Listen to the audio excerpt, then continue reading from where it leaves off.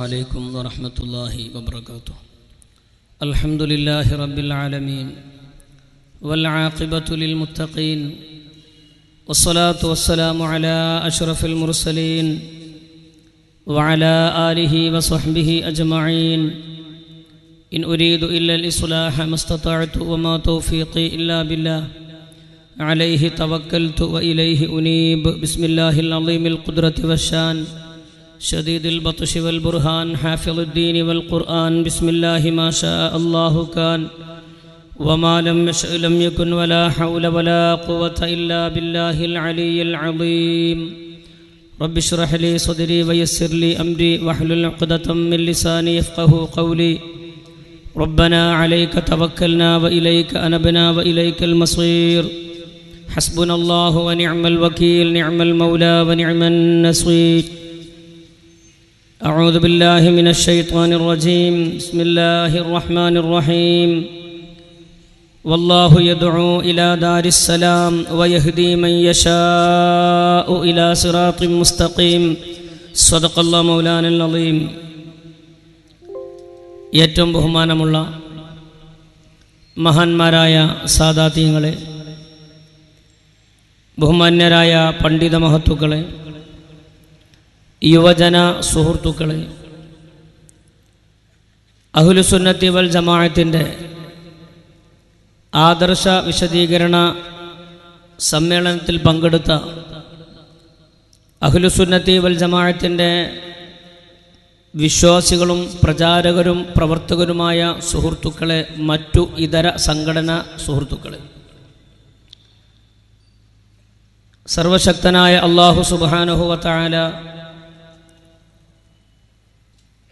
ഇങ്ങനെ ഒരു ലക്ഷ്യത്തിന് വേണ്ടി നമ്മൾ ഈ ഒരുമിച്ച് കൂടിയതിനെ പ്രതിഫലം ലഭിക്കുന്ന സൽക്കർമ്മമായി അള്ളാഹു നമ്മളിൽ നിന്ന് കബൂൽ ചെയ്യുമാറാകട്ടെ. ആമീൻ എന്ന് ആമുഖമായി ദ്വാ ചെയ്യുകയാണ്. എന്റെ ശേഷം മറ്റൊരു പ്രസംഗം കൂടെ ഇവിടെ നടക്കാനുള്ളതുകൊണ്ട് ആമുഖം നീട്ടിപ്പറയാതെ വിഷയത്തിലേക്ക് കടക്കുകയാണ്. വിശുദ്ധ ഖുർആാനിലെ ഒരു ആയത്താണ് ഞാൻ തുടക്കത്തിൽ ഓതിയിട്ടുള്ളത് വല്ലാഹു യദോ ഇലാ ദാരിസ്സലാം. അള്ളാഹു സുബാനഹു വതആല എല്ലാവരെയും ദാറുസലാമിലേക്ക് ക്ഷണിച്ചിട്ടുണ്ട്.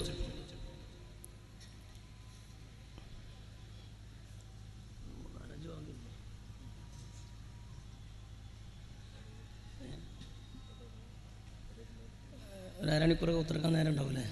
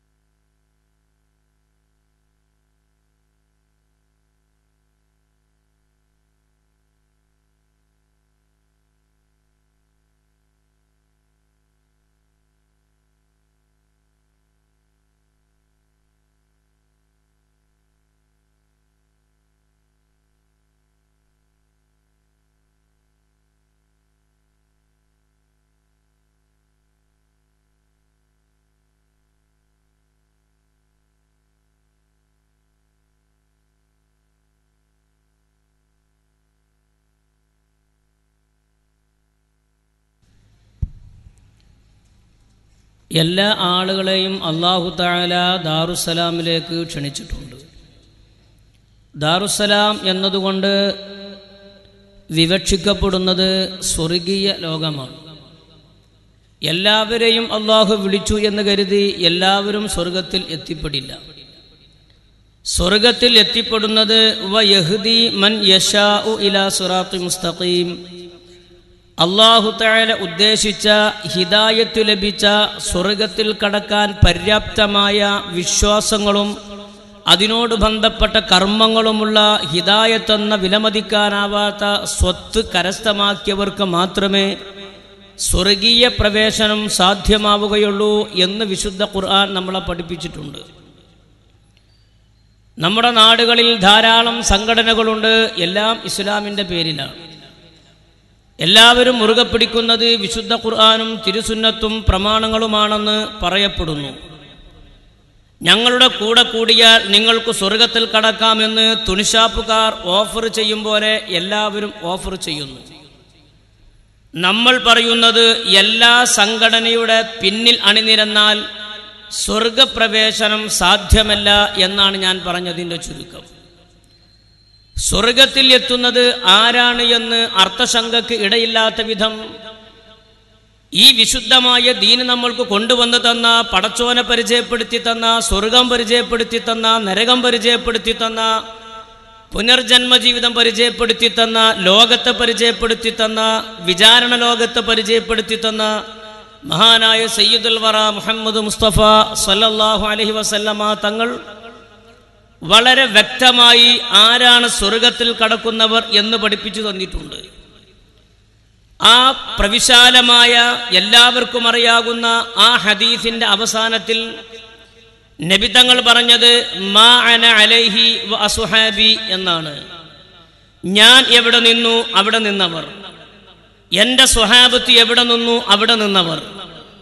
ഞാൻ എവിടെ നിന്നോ അവിടെ നിന്നവരും എന്റെ സ്വഹാബത്ത് എവിടെ നിന്നോ അവിടെ നിന്നവർ ആരാണോ അവർക്ക് മാത്രമേ സ്വർഗപ്രാപ്തി സാധ്യമാവുകയുള്ളൂ എന്ന് പുണ്യപ്രവാചകർ നമ്മളെ പഠിപ്പിച്ചിട്ടുണ്ട്. നമ്മളെ സംബന്ധിച്ചിടത്തോളം സംഘടനകളും പ്രവർത്തനങ്ങളും പ്രവർത്തന മേഖലകളും ഭൗതികമായ താല്പര്യങ്ങൾക്ക് വേണ്ടി അല്ലല്ലോ നമ്മൾ പ്രവർത്തിക്കുന്നത്. ഈ പ്രവർത്തനങ്ങളുടെയൊക്കെ ആകത്തുക പാരത്രിക ലോകത്തെ ജീവിതം നന്നാവണം പടച്ചവനെ നമ്മൾക്ക് കാണണം സ്വർഗപ്രാപ്തി ലഭിക്കണം എന്നതാണ് നമ്മുടെ ലക്ഷ്യം. ആ ലക്ഷ്യം കരഗതമാക്കാൻ വിശ്വാസം നന്നായേ തീരൂ കർമ്മങ്ങൾ നന്നായേ തീരൂ. ഇത് ആരോടെങ്കിലുമുള്ള വൈരാഗ്യമോ ആരോടെങ്കിലുമുള്ള ദേശത്തിന്റെ പേരിലോ സാമ്പത്തിക ലാഭത്തിന്റെ പേരിലോ ഇങ്ങനെ ഭൗതികമായ താല്പര്യത്തിന്റെ പേരിൽ അടിസ്ഥാനപരമായ വിശ്വാസങ്ങളെയും പ്രമാണങ്ങളെയും കണ്ണടച്ച് ഇരുട്ടാക്കിയാൽ ഈ ലോകത്ത് വളരെ സൗഖ്യമാകുമെങ്കിലും ബാക്കിയുള്ള ലോകത്തെ ജീവിതം വളരെ പ്രയാസകരമായിരിക്കും എന്ന് നമ്മൾ മനസ്സിലാക്കണം. നമ്മൾ വളരെ ഭാഗ്യവാന്മാരാണ് അതിലുപരി നമ്മൾ വളരെ സന്തുഷ്ടരാണ്. അങ്ങനെ പറയാൻ കാരണം പുണ്യപ്രവാചകരുടെ കാലത്തു തന്നെ വിശുദ്ധമായ ദീൻ കേരളത്തിലെത്തിയിട്ടുണ്ട്. പുണ്യപ്രവാചകർ ജീവിച്ചിരുന്ന കാലത്ത് വിശുദ്ധ ഇസ്ലാമിന്റെ വിശുദ്ധ ദീനിന്റെ സുന്ദരമായ ഹിതായത്തിന്റെ വഴി കേരളത്തിലെത്തുകയും ആ വിശുദ്ധമായ ദീനി ദീനി ശിഖയിൽ ദീനി ശാഖയിൽ നിന്ന് ആ ദീപത്തിൽ നിന്ന് ഹിതായത്തിന്റെ കൈത്തിരിവട്ടം പുൽകാൻ ഭാഗ്യം ലഭിച്ചവരാണ് കേരളത്തിലെ മുസ്ലിമീങ്ങൾ. ഹിജറ അഞ്ചാം വർഷം കേരളത്തിൽ പള്ളി നിർമ്മിച്ചിട്ടുണ്ട് എന്ന് കഴിഞ്ഞുപോയ കാലഘട്ടങ്ങളിലെ ചരിത്രങ്ങൾ രേഖപ്പെടുത്തുന്നുണ്ട്.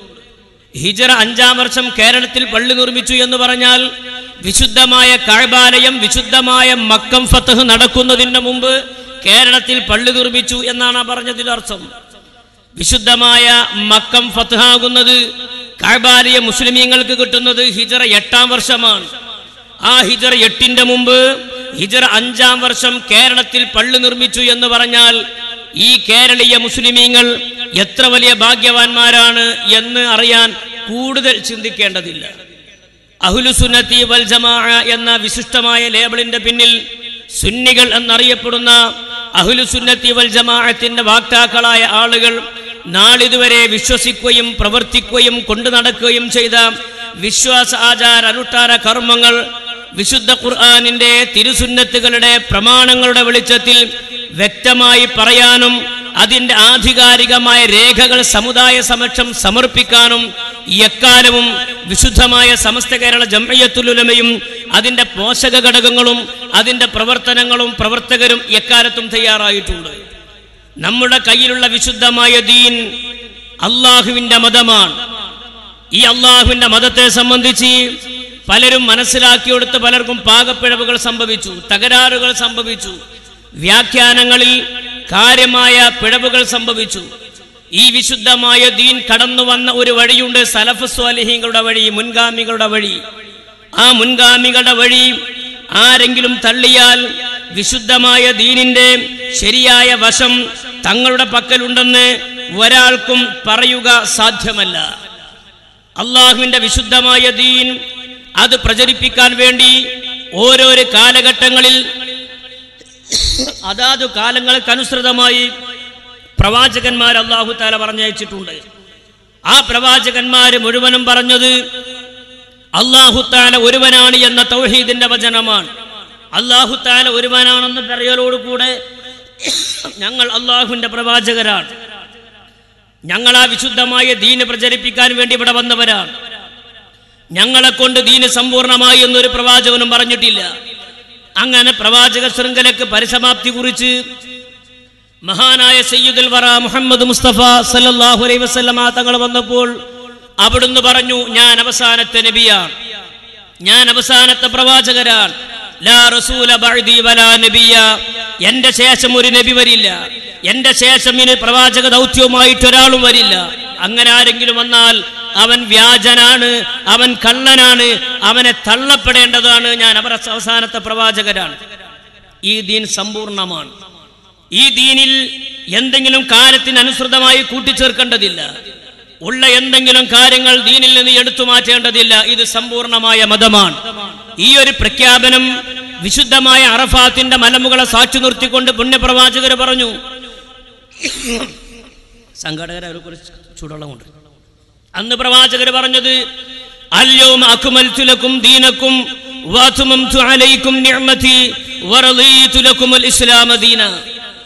ഈ ദീൻ സമ്പൂർണമായ മതമാണ്. നാൾ വരെ വരുന്ന കോടാനുകോടിയായ ആളുകൾക്ക് അവരുടെ കാലങ്ങൾക്കനുസൃതമായി അവരുടെ ജീവിതങ്ങൾക്കനുസൃതമായി ഇത് മാറ്റേണ്ടതില്ല ഇത് സമ്പൂർണമാണ് എന്ന് പ്രഖ്യാപിച്ചു പുണ്യപ്രവാചകർ. അള്ളാഹുവിൽ നിന്ന് സന്ദേശങ്ങൾ നിബിതങ്ങളിലേക്ക് എത്തി നബിതങ്ങൾ ഈ സന്ദേശങ്ങൾ തന്റെ അനുചരന്മാരായ സ്വഹാബികൾക്ക് പഠിപ്പിച്ചു കൊടുത്തു. ആ സ്വഹാബികളാണ് പിൻകാലത്ത് കേരളത്തിൽ ദീന് കൊണ്ടുവന്നിട്ടുള്ളത് അവ കണ്ണികളായി പാരമ്പര്യമായിട്ടാണ് നമ്മൾ കൊണ്ടു നടക്കുന്ന വിശ്വാസ ശാസ്ത്രം നമ്മളിലെത്തിയിട്ടുള്ളത്. പടച്ചവന്റെ പരിശുദ്ധമായ ദീൻ ജിബിരിയിൽ മുഖേന നബിതങ്ങൾ വഴി സ്വഹാബികളിലൂടെ കേരളത്തിന്റെ മണ്ണിലെത്തി. ഈ പറയപ്പെട്ട കണ്ണികളിൽ ആരെങ്കിലും ഏതെങ്കിലും ഒരു കണ്ണിയെ ആരെങ്കിലും നിഷേധിക്കുകയോ അവർ അംഗീകരിക്കുകയില്ലെന്ന് പറയുകയോ ചെയ്താൽ തന്റെ കൈകളിൽ കിട്ടിയ പരിശുദ്ധമായ മതത്തിന്റെ തന്റെ കൈകളിൽ കിട്ടിയ പരിശുദ്ധമായ ദീനിന്റെ അസുലിനെ സംബന്ധിച്ച് അവർ ആലോചിക്കേണ്ടതാണ്. ഈ പറയപ്പെട്ട വിശുദ്ധ ദീൻ നമ്മൾക്ക് കൊണ്ടുവന്ന പ്രവാചകന്മാർ ആ പ്രവാചകന്മാർക്ക് വഹി എത്തിച്ചു കൊടുത്ത വഹി കൊണ്ട് ഏൽപ്പിക്കപ്പെട്ട മലക്ക് ജിബിരി അലൈഹി സ്വലാത്തു വസ്സലാം മലക്കയുടെ നേതാവാണ്. ആ ജിബിരിലിനെ സംബന്ധിച്ച് എന്താണ് നമ്മുടെ വിശ്വാസം?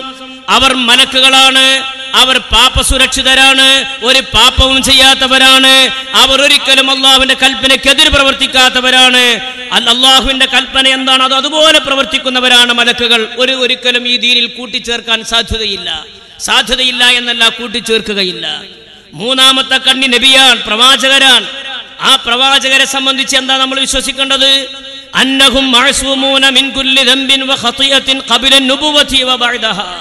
നുബുവത്തിന്റെ മുമ്പും നുബുവത്തിന്റെ ശേഷവും ഒരു പാപ്പവും ചെയ്യാത്ത പാപ്പ സുരക്ഷിതരാണ് നബിതങ്ങൾ ആ നബിതങ്ങളും ഈ വിശുദ്ധമായ ദീനിൽ കടത്തി കൂട്ടുകയില്ല അതിന്റെ അടുത്ത കണ്ണി സ്വഹാബികളാണ്. ആ സ്വഹാബികളും അംഗീകരിക്കാൻ പറ്റുന്നവരും പിൻപറ്റാൻ പറ്റുന്നവരും മാതൃകായോഗ്യരുമാണെന്ന് നബി തങ്ങൾ പഠിപ്പിച്ചിട്ടുണ്ട്. ഈ പറയപ്പെട്ട കണ്ണികളിലൂടെയാണ് കേരളത്തിൽ വിശുദ്ധമായ ദീന് വന്നിട്ടുള്ളത്. ഈ കണ്ണികളിൽ പ്രധാനപ്പെട്ട കണ്ണിയായ ബഹുമാന്യരായ പുണ്യപ്രവാചകരെ സംബന്ധിച്ച് എന്താണ് മുജാഹിദ് പ്രസ്ഥാനത്തിന്റെ വിശ്വാസം? നമ്മളുടെ വിശ്വാസം വിശുദ്ധ ദീനിന്റെ വിശ്വാസം. അവർ പാപ്പ സുരക്ഷിതരാണ് അവർ മാസൂമുകളാണ് അവർ ഇസ്മത്തുള്ളവരാണ് ഒരു തെറ്റും ചെയ്യാത്തവരാണ്. നുപുവത്തിന്റെ മുമ്പും ചെയ്തിട്ടില്ല നുപുവത്തിന്റെ ശേഷവും ചെയ്തിട്ടില്ല. എന്നാൽ മുജാഹിദിന്റെ വിശ്വാസം നബി തങ്ങളെ സംബന്ധിച്ച് എന്താ മുജാഹിദിന്റെ വിശ്വാസം? നോക്കൂ നിങ്ങൾ ഈ പുസ്തകം ഏ, മുഅ്ജിസത്തും കറാമത്തും എന്ന പുസ്തകമാണ്. ഇത് എഴുതിയത് സി പി ഉമ്മർ സുല്ലമിയാണ്. സി പി ഉമ്മർ സുല്ലമി എഴുതിയത് ഇനി ഞങ്ങൾ അംഗീകരിക്കൂല എന്ന് പറയാൻ പറ്റൂല. ഒക്കെ ലയിച്ചു ഗുണല്ലോ. ലയിച്ചതിന്റെ കോലം ഞാൻ പറയാ. ഈ മുഅ്ജിസത്തും കറാമത്തും പറയുന്ന ഈ പുസ്തകത്തിൽ ഉമർ സുല്ലം എഴുതിയത് എന്താ നിങ്ങൾ അതിന്റെ മുപ്പത്തിയെട്ടാമത്തെ പേജ്. വേദനാജനകമായ ഒരു വാചകമാണ് പ്രവാചകന്മാരെ സംബന്ധിച്ച് ഇവർ എഴുതിയത്. എന്താണ് ഇത് എഴുതിയത്? പ്രവാചകനായതുകൊണ്ട് മനുഷ്യ സഹജമായ ദൗർബല്യങ്ങൾ ഇല്ലാതാകുന്നില്ല. ഇതാർക്കും പരിശോധിക്കാവുന്നതാണ്. പ്രവാചകനായതുകൊണ്ട് മനുഷ്യ സഹജമായ ദൗർബല്യങ്ങൾ ഇല്ലാതാകുന്നില്ല. എന്താ സാധാരണ മനുഷ്യന്മാരിൽ നിന്നുണ്ടാകുന്ന ദൗർബല്യം? കളവ് പറയും വ്യഭിചരിക്കും നിസ്കാരം ഒഴിവാക്കും പലിശ വാങ്ങും. ഇങ്ങനെ എല്ലാ വാണ്ടാത്തരങ്ങളും മനുഷ്യരിൽ നിന്നുണ്ടാകുന്ന ദൗർബല്യങ്ങളാണ്. ആ ദൗർബല്യങ്ങൾ ഒരു പ്രവാചകനായി എന്നതുകൊണ്ട് ആ ജീവിതത്തിൽ നിന്ന് മാറുന്നില്ല.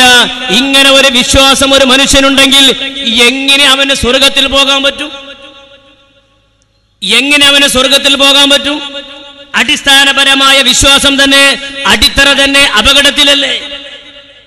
ഞങ്ങൾ അങ്ങനെ എഴുതിയില്ലെന്ന് പറയാൻ നിർവാഹമില്ല. ഞങ്ങളെ ഗ്രൂപ്പല്ലെന്ന് പറയാനും നിർവാഹമില്ല. നോക്കൂ നിങ്ങൾ അദ്ദേഹത്തിനെ ഒന്നുകൂടി വായിക്കാം പ്രവാചകനായതുകൊണ്ട് മനുഷ്യ സഹജമായ ദൗർബല്യങ്ങൾ ഇല്ലാതാകുന്നില്ല. മനുഷ്യാതീതമായ കഴിവും ലഭിക്കുന്നില്ല. സാധാരണ മനുഷ്യനുണ്ടാകുന്ന കഴിവെന്താണോ? അതിനെ പ്രവാചകന്മാർക്കുണ്ടാകുള്ളൂ. ഒരു പ്രത്യേകമായ ഒരു കഴിവ് പ്രവാചകന്മാർക്കുണ്ടാകില്ല എന്ന് പറഞ്ഞാൽ ശക്തമായ മോജ്യത്തിന് നിഷേധമാണിത്. ഇങ്ങനെ ഒരാൾ വിശ്വസിച്ചാൽ ആ പ്രവാചകന്റെ പക്കൽ നിന്ന് ഞങ്ങൾക്ക് കിട്ടിയതാണെന്ന് പറയുന്ന ആശയം ഏതടിസ്ഥാനത്തിലാണ് ഉറപ്പോടുകൂടെ സ്വീകരിക്കുന്നത്? പ്രവാചകന്മാരിൽ നിന്നും മനുഷ്യ സഹജമായ ദൗർബല്യങ്ങൾ ഉണ്ടാകുമെന്നല്ലേ പറയണത്? അതാണ് നമ്മൾ പറയുന്നത്. അടിസ്ഥാനപരമായ വിശ്വാസങ്ങളിൽ ദൂരവ്യാപകമായ അപകടങ്ങൾ സംഭവിച്ചിട്ടുണ്ട്. നമ്മൾ പറയുന്നത് അള്ളാഹു ആദരിച്ചവരെ നമ്മൾ ആദരിക്കണം. അള്ളാഹു ബഹുമാനിച്ചവരെ നമ്മൾ ബഹുമാനിക്കണം. അള്ളാഹു നിന്ദിച്ചവരെ നമ്മൾ നിന്ദിക്കണം. ആ ബഹുമാനത്തിനും ആ സ്ഥാനമാനങ്ങൾക്കും ഒരു പ്രത്യേക ഇസ്കയിലുണ്ട്. ആ ഇസ്കയിലനുസരിച്ചായിരിക്കണം. പ്രവാചകന്മാരെ പോലെയല്ല ഔലിയാക്കന്മാർ. പ്രവാചകന്മാർ മാസൂമുകളാണ്. അമ്പി ഔലിയാക്കന്മാർ മാസൂമുകളല്ല മഹഫൂദുകളാണ്. സാധാരണക്കാരായ നമ്മൾ മാസൂമുമല്ല മഹഫൂദുമല്ല അവ എല്ലാവരെയും നമ്മൾക്ക് ഒരുപോലെ കണ്ടുകൊണ്ട് കാണാൻ പറ്റൂല. തളപ്പ് കെട്ടണ സമയത്ത് തെങ്ങിന് വേറെ കൗങ്ങിന് വേറെ പനക്ക് വേറെ എല്ലാതും തളപ്പിന് വലുപ്പത്തിന് വ്യത്യാസം ഉണ്ടാകും പനമ്മ കയറുന്ന തളപ്പുമായിട്ട് കൗങ്ങുമ്മ കയറിയാൽ തൊടന്റെ കമ്പനി പോയിന്റ് പോകും. അപ്പൊ ഓരോന്നിനും തളപ്പിന് വ്യത്യാസമുണ്ട്. ഔലിയാക്കന്മാരെ കാണുന്ന കണ്ടുകൊണ്ട് അമ്പിയാക്കന്മാരെ കാണാൻ പറ്റുമോ അമ്പിയാക്കന്മാരെ കാണുന്ന കണ്ടുകൊണ്ടാണോ നമ്മളെ പോലത്തെ സാധാരണക്കാരെ കാണുന്നത്? അതാ നമ്മൾ പറഞ്ഞത് അടിസ്ഥാനപരമായ വിശ്വാസങ്ങളിൽ പോലും ദൂരവ്യാപകമായ പ്രത്യാഘാതങ്ങൾ സംഭവിച്ചിട്ടുണ്ട് ഇനി പറയട്ടെ അടുത്ത കണ്ണി സ്വഹാബികളാണ്. സ്വഹാബികളെ സംബന്ധിച്ച് എന്താ എഴുതി വെച്ചത്? കേരളത്തിലെ മുസ്ലിയാക്കന്മാര് പറയുന്നത് തെളിവല്ലാത്തതുപോലെ സ്വഹാബികൾ പറയുന്നതും ഞങ്ങൾക്ക് തെളിവല്ല. തള്ളൂലല്ലോ? ഞങ്ങളെ ഗ്രൂപ്പല്ലെന്ന് പറയില്ലല്ലോ? കേരളത്തിലെ മുസ്ലിയാക്കന്മാര് ചെയ്യുന്നത് തെളിവല്ലാത്തതുപോലെ സ്വഹാബത്ത് ചെയ്യുന്നത് ഞങ്ങൾക്ക് തെളിവല്ല. എന്നാൽ സ്വഹാബികളെ സംബന്ധിച്ച് നമ്മളെ വിശ്വാസം എന്താണ്? എന്താ നബി തങ്ങൾ സ്വഹാബികളെ സംബന്ധിച്ച് നമുക്ക് പഠിപ്പിച്ചു തന്നത്?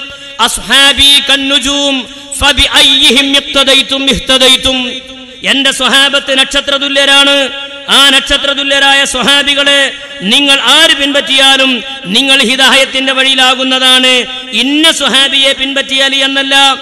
ഇന്ന സ്വഹാബിയെ പിൻപറ്റിയാൽ എന്നല്ല. എന്റെ സ്വഹാബത്ത് മുഴുവനും നക്ഷത്ര തുല്യരാണ്.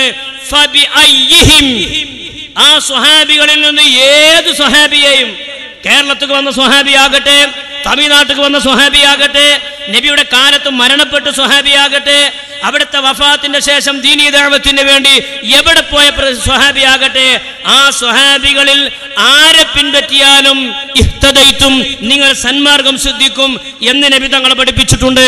ആ സ്വഹാബികൾ ചെയ്യുന്നത് ഞങ്ങൾക്ക് തെളിവല്ലെന്ന് പറഞ്ഞാൽ കയ്യിൽ കിട്ടിയ ദീന് പിന്നെ എവിടുന്ന് കിട്ടിയതാ? ആ കയ്യിൽ കിട്ടിയ ദീനിന്റെ പാരമ്പര്യം സാന്ദർഭികമായി ഞാൻ ഓർമ്മപ്പെടുത്തുകയാണ്.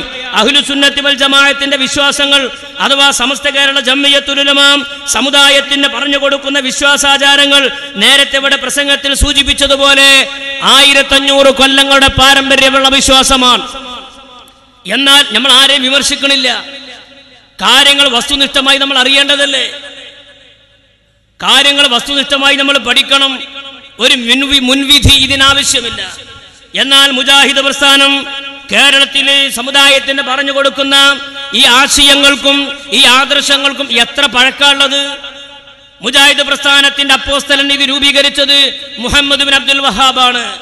അദ്ദേഹം നജുദുകാരനാണ്. ഹിജർ ആയിരത്തി ഒരുന്നൂറ്റി പതിനഞ്ചിൽ ജനിക്കുകയും ഹിജർ ആയിരത്തി ഇരുന്നൂറ്റി ആറിൽ മരണപ്പെടുകയും ചെയ്ത നജുദുകാരനായ മുഹമ്മദ് അബ്ദുൽ വഹാബാണ്. വഹാബി പ്രസ്ഥാനം ഇവിടെ രൂപം കൊള്ളുന്ന വഹാബി പ്രസ്ഥാനത്തിന് ഇവിടെ തുടക്കം കുറിച്ചിട്ടുള്ളത്.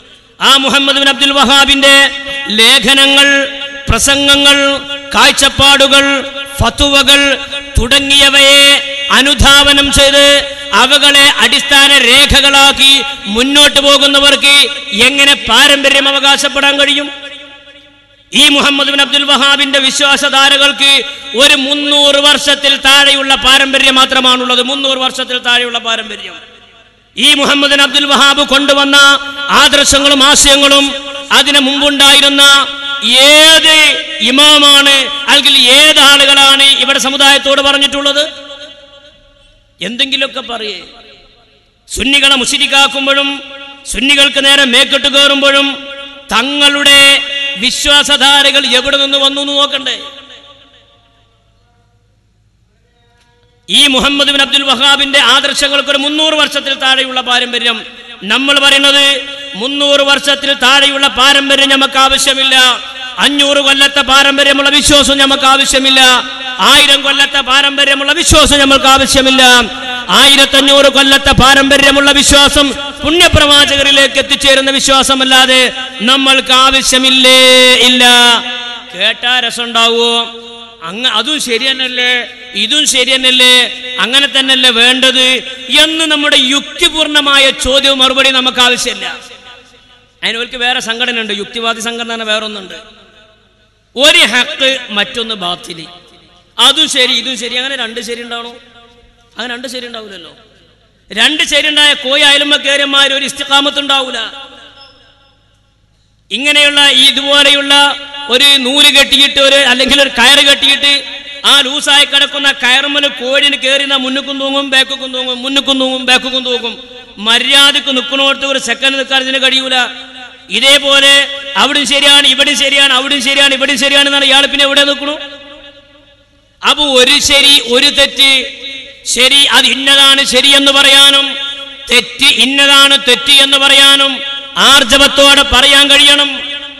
അപ്പൊ മുഹമ്മദ് ബിൻ അബ്ദുൽ വഹാബ് കൊണ്ടുവന്ന വഹാബിസം അത് വഹാബി ആകട്ടെ സലഫി എന്നുള്ള പേരിലാകട്ടെ മുജാഹിദ് എന്നുള്ള പേരിലാകട്ടെ ജിന്നൂരി എന്ന പേരിലാകട്ടെ മടവൂരി എന്ന പേരിലാകട്ടെ ഏത് പേരിലായാലും അറബി പറഞ്ഞ പോലെ നമുക്ക് കുല്ലും സവ. നമുക്കൊക്കെ കണക്ക് തന്നെ അവരുടെ ആശയങ്ങൾക്ക് മുന്നൂറ് വർഷത്തിൽ താഴെയുള്ള പാരമ്പര്യം ആയിരത്തി തൊള്ളായിരത്തി നാൽപ്പത്തി ഒന്നിൽ രൂപീകൃതമായ ജനാബ് അബുല്ല മൗദൂദിയുടെ ജമാഅത്തെ ഇസ്ലാമി. ഒരു തൊണ്ണൂറ് വർഷത്തിൽ താഴെയുള്ള പാരമ്പര്യം. ഇനി അങ്ങനെ പോയാൽ ഖാദിയാനികൾ ആയിരത്തി എണ്ണൂറ്റി മുപ്പത്തി അഞ്ചിൽ പഞ്ചാബിലെ ഖാദിയാനിൽ ജനിച്ച മിർസ ഗുലാം അഹമ്മദ് ഖാദിയാനിയുടെ ഖാദിയാനിസം ഒരു ഇരുന്നൂറ് വർഷത്തിൽ താഴെയുള്ള പാരമ്പര്യം. തെബിലിയക ജമായത്തുകാരൻ നല്ല താടിയും തലപ്പാവും വെച്ച് മുഷാവറ മെമ്പറാന്നൊക്കെ തോന്നും കണ്ടാൽ. ആ തെബിലിയക ജമാഅത്തുകാരന്റെ വിശ്വാസാചാരങ്ങൾക്ക് ജനാബ് മുഹമ്മദ് ഇല്യാസി സാഹിബ് കൊണ്ടുവന്ന ആശയങ്ങൾക്ക് ഒരു എൺപത് വർഷത്തിൽ താഴെയുള്ള പാരമ്പര്യം. തൊള്ളായിരത്തി അറുപത്തിരണ്ടുകളിൽ ഇവിടെ വന്ന ശേഖനൂർ മൗലവി അയാൾ വിശുദ്ധ ഖുറാനും തിരുസന്നത്തും ഉയർത്തിപ്പിടിച്ചിട്ട് പറഞ്ഞത് അഞ്ചു വക്ത നിസ്കാരമില്ല വെറും മൂന്ന് വക്കത്തേ ഉള്ളൂ എന്ന് വാദിച്ചത് വിശുദ്ധ ഖുറാൻ വെച്ചിട്ടാണ്. അയാളുടെ സംഘടന ഖുർആൻ സുന്നത്ത് സൊസൈറ്റി എന്നാണ് അങ്ങനത്തെ ഒരു നല്ല പേരുള്ള സംഘടന കേരളത്തിൽ പിന്നെ വന്നിട്ടില്ല. ഇങ്ങനെ പലരും ഇവിടെ വന്നില്ലേ? എല്ലാരും കൂടി സ്വർഗത്ത് പോകുന്നു പറഞ്ഞാൽ ഇഹ്ദിന മുസ്തഖീം എന്ന പ്രാർത്ഥനക്ക് എന്തർത്ഥമാണുള്ളത്? സുഹാബി എന്ന് പറഞ്ഞ പുണ്യപ്രവാചന ഈ വാക്കിന് എന്തർത്ഥമാണുള്ളത്? അതുകൊണ്ട് വിശ്വാസാചാരങ്ങളും കർമ്മങ്ങളും കൃത്യനിഷ്ഠമായി മുൻവിധിയില്ലാതെ എന്റെ മണ്ടക്ക് അങ്ങനെയാണ് മനസ്സിലാകണത് എനിക്ക് അങ്ങനെയാണ് തോന്നണത് എന്ന് പറഞ്ഞത് കൊണ്ട് കാര്യമില്ലല്ലോ. ഞാൻ മലയാളത്ത് ഹുത്തുബോധന പള്ളിക്ക് പോവുകയാണ്. സാധു അങ്ങനെ പോകല്ലേ? ഏ എനിക്ക് ഹുത്തുബ തിരിയണോലോ? അനക്ക് തിരിയണം എന്നുള്ളത് എന്റെ ന്യായാണ്. നബി തങ്ങൾ അങ്ങനെ ഓതിയോ? ഇല്ല. സ്വഹാബികൾ അങ്ങനെ ഓതിയോ? ഇല്ല. കേരളത്തിലേക്ക് ദീൻ കൊണ്ടുവന്ന സ്വഹാബികൾ മലയാളക്കരയിലല്ലേ പള്ളി ഉണ്ടാക്കിയത്? അതെ. ആ മലയാളക്കരയിൽ ഈ സ്വഹാബികൾ മലയാളത്തിൽ ഓതിയോ ഇല്ല. എന്നാ മലയാളം തിരുന്നവരോട് ഓദിച്ചോ ഇല്ല. പിന്നെ നീ ഏതടിസ്ഥാനത്തിലാ മലയാളത്തിൽ കുത്തുപോകുന്ന പള്ളിക്ക് പോണത്? എനിക്കത് തിരിയണം. അത് നിന്റെ ന്യായമാണ്. അത് ദീനല്ല എന്നാ ഞാൻ പറഞ്ഞത്. അപ്പൊ അല്യവും അക്കുമൽ തുലക്കും ദീനക്കും എന്ന് പറഞ്ഞ ഈ ദീൻ സമ്പൂർണമാണ് എന്ന് പ്രഖ്യാപിച്ച അന്ന് ഏത് ഭാഷയിലാന്ന് കുത്തുബയോദിയത് ഈ ദീന് സമ്പൂർണാന്ന് നബി പ്രഖ്യാപിച്ചില്ല അറഫയിൽ വെച്ച്. ഇത് സമ്പൂർണമാണ്. ഇനി എന്റെ ശേഷം ഒരു നബി വരൂല. ഇനി അള്ളാന്റെ കലാമ് വരൂല. വഹി ഇവിടെ മുറിഞ്ഞു പോയിട്ടുണ്ട്. ഞാൻ അവസാനത്തെ നബിയാൻ വിശുദ്ധ ഖുർആൻ അവസാനത്തെ ഗ്രന്ഥമാണ്. എന്ന് പ്രഖ്യാപിച്ച അന്ന് ഇത് സമ്പൂർണ മതമാണെന്ന് പ്രഖ്യാപിച്ച അന്ന് ഏത് ഭാഷയിലാന്ന് മക്കത്തും മദീനത്ത് ഹുത്തുബോധിയത് അറബിയിൽ. പിന്നെ ആരെങ്കിലും മലയാളത്തിലോ ഇംഗ്ലീഷിലോ തമിഴിലോ ഓനക്ക് തിരിയുന്ന ഭാഷയിൽ ഹുത്തുബയോദിയാൽ എന്താണ് ഇതിനർത്ഥം? സമ്പൂർണമായ മതത്തിൽ നിന്ന് പുറത്താണ് എന്നതിനർത്ഥം. അതിന് ചിന്തിക്കാൻ എ പി ജെ അബ്ദുൽ കലാമിന്റെ ബുദ്ധിയൊന്നും ആവശ്യമില്ല. മൂക്കിന്റെ പാലം കീപ്പെട്ട് തൂങ്ങിയാൽ മതി. ഈ ദീന് സമ്പൂർണമാണ് എന്ന് പ്രഖ്യാപിച്ചാന്ന് എത്ര റക്കാത്ത തറാവീസ്കരിച്ചത്? ഇരുപത് റക്കാത്ത് തറാവീഹ്. ആരെങ്കിലും പിൻകാലത്ത് ഹദീസുകളെ ദുർവ്യാഖ്യാനം ചെയ്ത് എട്ട് മതിയെന്നോ പന്ത്രണ്ട് മതിയെന്നോ പറഞ്ഞാൽ ഓന് സൗകര്യം പോലെ നിസ്കരിക്കുക അതേ പാടുള്ളൂ എന്ന് പറഞ്ഞാൽ അത് സമ്പൂർണമായ മതത്തിന് പുറത്താണ്. എന്റെ സൗകര്യം പോലെ എനിക്ക് ചെയ്യാം അത് സ്വതന്ത്രമായ നാടാണിത്. ദീനാന്ന് പറയാൻ പറ്റൂല. കാരണം സമ്പൂർണമായ മതമാണെന്ന് പ്രഖ്യാപിച്ചന്ന് ഇരുപത് തിറക്കാത് തറാവീഹാണ് പുണ്യപ്രവാചകൻ നിസ്കരിച്ചത്. മരണപ്പെട്ടു പോയവരുടെ പേരിൽ പുണ്യപ്രവാചകർ പ്രാർത്ഥന നടത്തിയില്ലേ? ഖബർ സിയാറത്ത് നടത്തിയില്ലേ? ഇതൊക്കെ നടത്തിയ പ്രവാചകർ അന്ന് ദീന് സമ്പൂർണ എന്നാ പറഞ്ഞത്. പിൻകാലത്ത് ആരെങ്കിലും ഖബർ സിയാറത്ത് പാടില്ലെന്ന് പറഞ്ഞാൽ ആ വാദം ദീനിന്ന് പുറത്താണ് സമ്പൂർണമായ മതത്തിൽ നിന്ന് പുറത്താണ്. അതാണ് ഈ പറഞ്ഞത്. വാദിക്കുറുവൽക്ക് വാദിക്ക. ഇത് മതേതരത്വ റിപ്പബ്ലിക്കൻ രാജ്യമാണ്. ആർക്കെന്തും പറയാ. ഒരുത്തൻ പറയാണ് ഞാൻ തുണി അയച്ചിട്ട് നടക്കുകയാണ്. ഓന് നടക്കാം. ഇത് ഇന്ത്യ രാജ്യമാണ്. പക്ഷെ അത് ദീനാണെന്ന് പറയരുത്. അത്രേ നമ്മൾ പറയണുള്ളൂ. ദീനാകുമ്പോൾ ആ ദീന് ആ ദീനി ഇവിടെ കൊണ്ടുവന്ന പ്രവാചകർ എന്ത് പഠിപ്പിച്ചു എന്ന് നോക്കണ്ടേ? അവരെങ്ങനെ ജീവിച്ചു എന്ന് നോക്കണ്ടേ? നമ്മളെ സൗകര്യം പോലെ മാറ്റാൻ പറ്റുന്നതാണോ വിശുദ്ധമായ ദീനി? അപ്പൊ ചുരുക്കത്തിൽ ഈ ഒരു സുന്ദരമായ സാഹചര്യത്തിൽ നിന്ന് മുൻഗാമികളെ പാരമ്പര്യമായി വന്ന വിശ്വാസാചാരങ്ങളെ മുൻവിധിയോടുകൂടെ വിമർശിക്കുന്നതും കണ്ണ കണ്ണടച്ചിരിട്ടാക്കുന്നതും മഹാപാതകമാണ് അപകടകരമാണ്. ഇതൊരു മുജാഹിദിന നേതാവയുടെ അടുത്ത കാലത്ത് ഇതൊരു പുസ്തകമാണത്. സക്കരിയ സ്വലാഹി എഴുതിയ പുസ്തകം ഗൾഫ് സലഫികളും കേരളത്തിലെ ഇസ്ലാഹി പ്രസ്ഥാനവും അതിന്റെ പേര് ആർക്കും വരാവുന്നതും ഇത് പരിശോധിക്കാവുന്നതുമാണ്. പച്ച മലയാളത്തിൽ ഞാനത് വായിക്കണതിന് മുമ്പ് ഇതിലെന്താ പറഞ്ഞതെന്ന് ഞാൻ പറഞ്ഞുതരാം. എന്താ അദ്ദേഹം എഴുതിയത്? ഞങ്ങൾ ഇങ്ങനെ പഠിച്ചതനുസരിച്ച് ഇങ്ങനെ അമൽ ചെയ്യാം. അങ്ങനെ ചെയ്യണതിനിടയ്ക്ക് അത് തെറ്റാന്ന് ബോധ്യപ്പെട്ടാൽ ഞങ്ങൾ തിരുത്തും പിന്നെ മനസ്സിലായതുപോലെ ഞങ്ങൾ ചെയ്യും. പിന്നെ അത് തെറ്റാന്ന് ബോധ്യപ്പെട്ടാൽ ഞങ്ങൾ പിന്നെയും തിരുത്തും പിന്നെ അങ്ങ് മനസ്സിലായതുപോലെ ഞങ്ങൾ ചെയ്യും. അങ്ങനെ സൗകര്യം പോലെ ഞങ്ങൾ മതത്തെ തിരുത്തും. ഇത് ഇസ്ലാമിന്റെ പേരിലാണ്. ഗൾഫ് സലഫികളും കേരളത്തിലെ ഇസ്ലാഹി പ്രസ്ഥാനം എന്ന ഈ പുസ്തകത്തിൽ വളരെ വ്യക്തം. ഒരുപാട് ഈ ഒരു ഓഫറത്ത് ഇയാൾ ഇതിൽ എഴുതിയിട്ടുണ്ട്. അതിന്റെ ഇരുപത്തി അറുപത്തിനാലാമത്തെ പേജ്. അറുപത്തിനാലാമത്തെ പേജിൽ അദ്ദേഹം എഴുതി ഞാൻ വായിക്കാം. ചുരുക്കത്തിൽ. കുറെ കാര്യം പറഞ്ഞിട്ട് അദ്ദേഹം പറയണം ചുരുക്കത്തിൽ. അപ്പപ്പോൾ ലഭ്യമായ തെളിവുകളുടെ വെളിച്ചത്തിൽ നമ്മുടെ തെറ്റായ ധാരണകളെ നാം യഥാസമയം തിരുത്തിയിട്ടുണ്ട്. നോക്കി നിങ്ങൾ അപ്പപ്പോൾ ലഭ്യമായ തെളിവുകളുടെ വെളിച്ചത്തിൽ നമ്മളുടെ തെറ്റായ ധാരണകളെ നാം യഥാസമയം തിരുത്തിയിട്ടുണ്ട്. എങ്ങനെ നിങ്ങൾക്ക് തെറ്റായ ധാരണ ഉണ്ടായത്? അസുഖത്തിന് ഡോക്ടർ അടുത്ത് വരും എനിക്ക് ഇന്ന അസുഖം ഉണ്ടായി എന്ന് പറയുമ്പോൾ എങ്ങനെ ഉണ്ടായി നോക്കണ്ടേ? ബന്ധേനെ നമുക്ക് ഗുളിക തരാം. പക്ഷെ എങ്ങനെ ഉണ്ടായി നോക്കണ്ടേ? എങ്ങനെ നിങ്ങൾക്ക് തെറ്റായ ധാരണ ഉണ്ടായത്? മുൻവിധിയോടുകൂടെ കാര്യങ്ങൾ നിങ്ങൾ മുൻവിധിയോട് മുൻവിധിയോടുകൂടെ മനസ്സിലാക്കി എന്നതാണ് വസ്തുത. പലരെയും അംഗീകരിക്കാനുള്ളൊരു മനസ്സുണ്ടായില്ല. അങ്ങനെ ഞങ്ങൾ തിരുത്തിയിട്ടുണ്ട്. പിന്നീട് കൂടുതൽ പ്രബലമായ തെളിവുകൾ ലഭിച്ചപ്പോൾ നമ്മുടെ ധാരണകളെ വീണ്ടും തിരുത്തേണ്ടി വന്നു. ഒരു മനുഷ്യനെ എഴുതിയതാ അത്. അല്ല ഒരു നേതാവ് എഴുതിയതാ അത്. ദീനി തിരുത്തിയിട്ടുണ്ട്. ഇങ്ങനെ ഇടക്കാലത്ത് നാം സ്വീകരിച്ചതും പ്രമാണങ്ങളുടെ വെളിച്ചത്തിൽ പിന്നീട് നാം തിരുത്തിയതുമായ ചില കാര്യങ്ങളെ ഇന്നത്തെ ആദർശ വ്യതിയാനത്തിന് ന്യായീകരണമായി കണ്ടുകൂടാ. അങ്ങനെ ഞങ്ങൾ ഇങ്ങനെ തിരുത്തിയിക്കണമെങ്കിലും അതൊന്നും ആദർശ വ്യതിയാനല്ല. എന്താ അതിന്റെ പേര്? പിന്നെന്താ അതിന്റെ പേര്? ഇതിനല്ല ആദർശ വ്യതിയാനം എന്ന് പറയൽ? അതൊന്നും ആദർശ വ്യതിയാനല്ല ഇന്നാകട്ടെ പ്രാമാണികമായി അതെല്ലാം തെറ്റാണെന്ന് നാം സ്ഥിരീകരിച്ചു കഴിഞ്ഞിരിക്കുന്നു. ഈ രൂപത്തിൽ ഇക്കൊല്ലം പറഞ്ഞത് ഞങ്ങൾ തെറ്റാണ്. ഞങ്ങൾ അടുത്തൊല്ലം പറഞ്ഞോളാ. അതിലേറെ നല്ല തെളിവ് കിട്ടിയാൽ ആ അടുത്തൊല്ലം പറഞ്ഞാൽ തെറ്റാ ഞങ്ങൾ പിന്നത്തെ കൊല്ലം പറഞ്ഞോളാ. അതിലേറെ നല്ല തെളിവ് കിട്ടിയാൽ എന്ന് പറഞ്ഞ് പച്ച മലയാളത്തിൽ എഴുതേണ്ട സാഹചര്യത്തിലേക്ക് ആദർശപരമായ വ്യതിയാനങ്ങളുടെ വല്ലാത്തൊരു ഗോഡൌണായി മുജാഹിദ് പ്രസ്ഥാനം മാറിയിട്ടുണ്ട്. അതുകൊണ്ട് നമ്മൾ പറയുന്നത് വിശ്വാസങ്ങളെ കൃത്യമായി നമ്മൾ സംരക്ഷിക്കണം. ഞാൻ കൂടുതൽ പറയുന്നില്ല. ഐക്യത്തിന്റെ പേരിൽ മുറവിളി കൂടുന്ന ഒരു സമയമാണിത്. നമുക്കൊരു മനസ്സിലാകാത്ത വല്ലാത്തൊരു ഐക്യമായി പോയി വാപ്പ അത് എന്തൊരു ഐക്യാണത് ഐക്യാകണമെങ്കിൽ അതിന് ചില മാനദണ്ഡങ്ങളില്ലേ?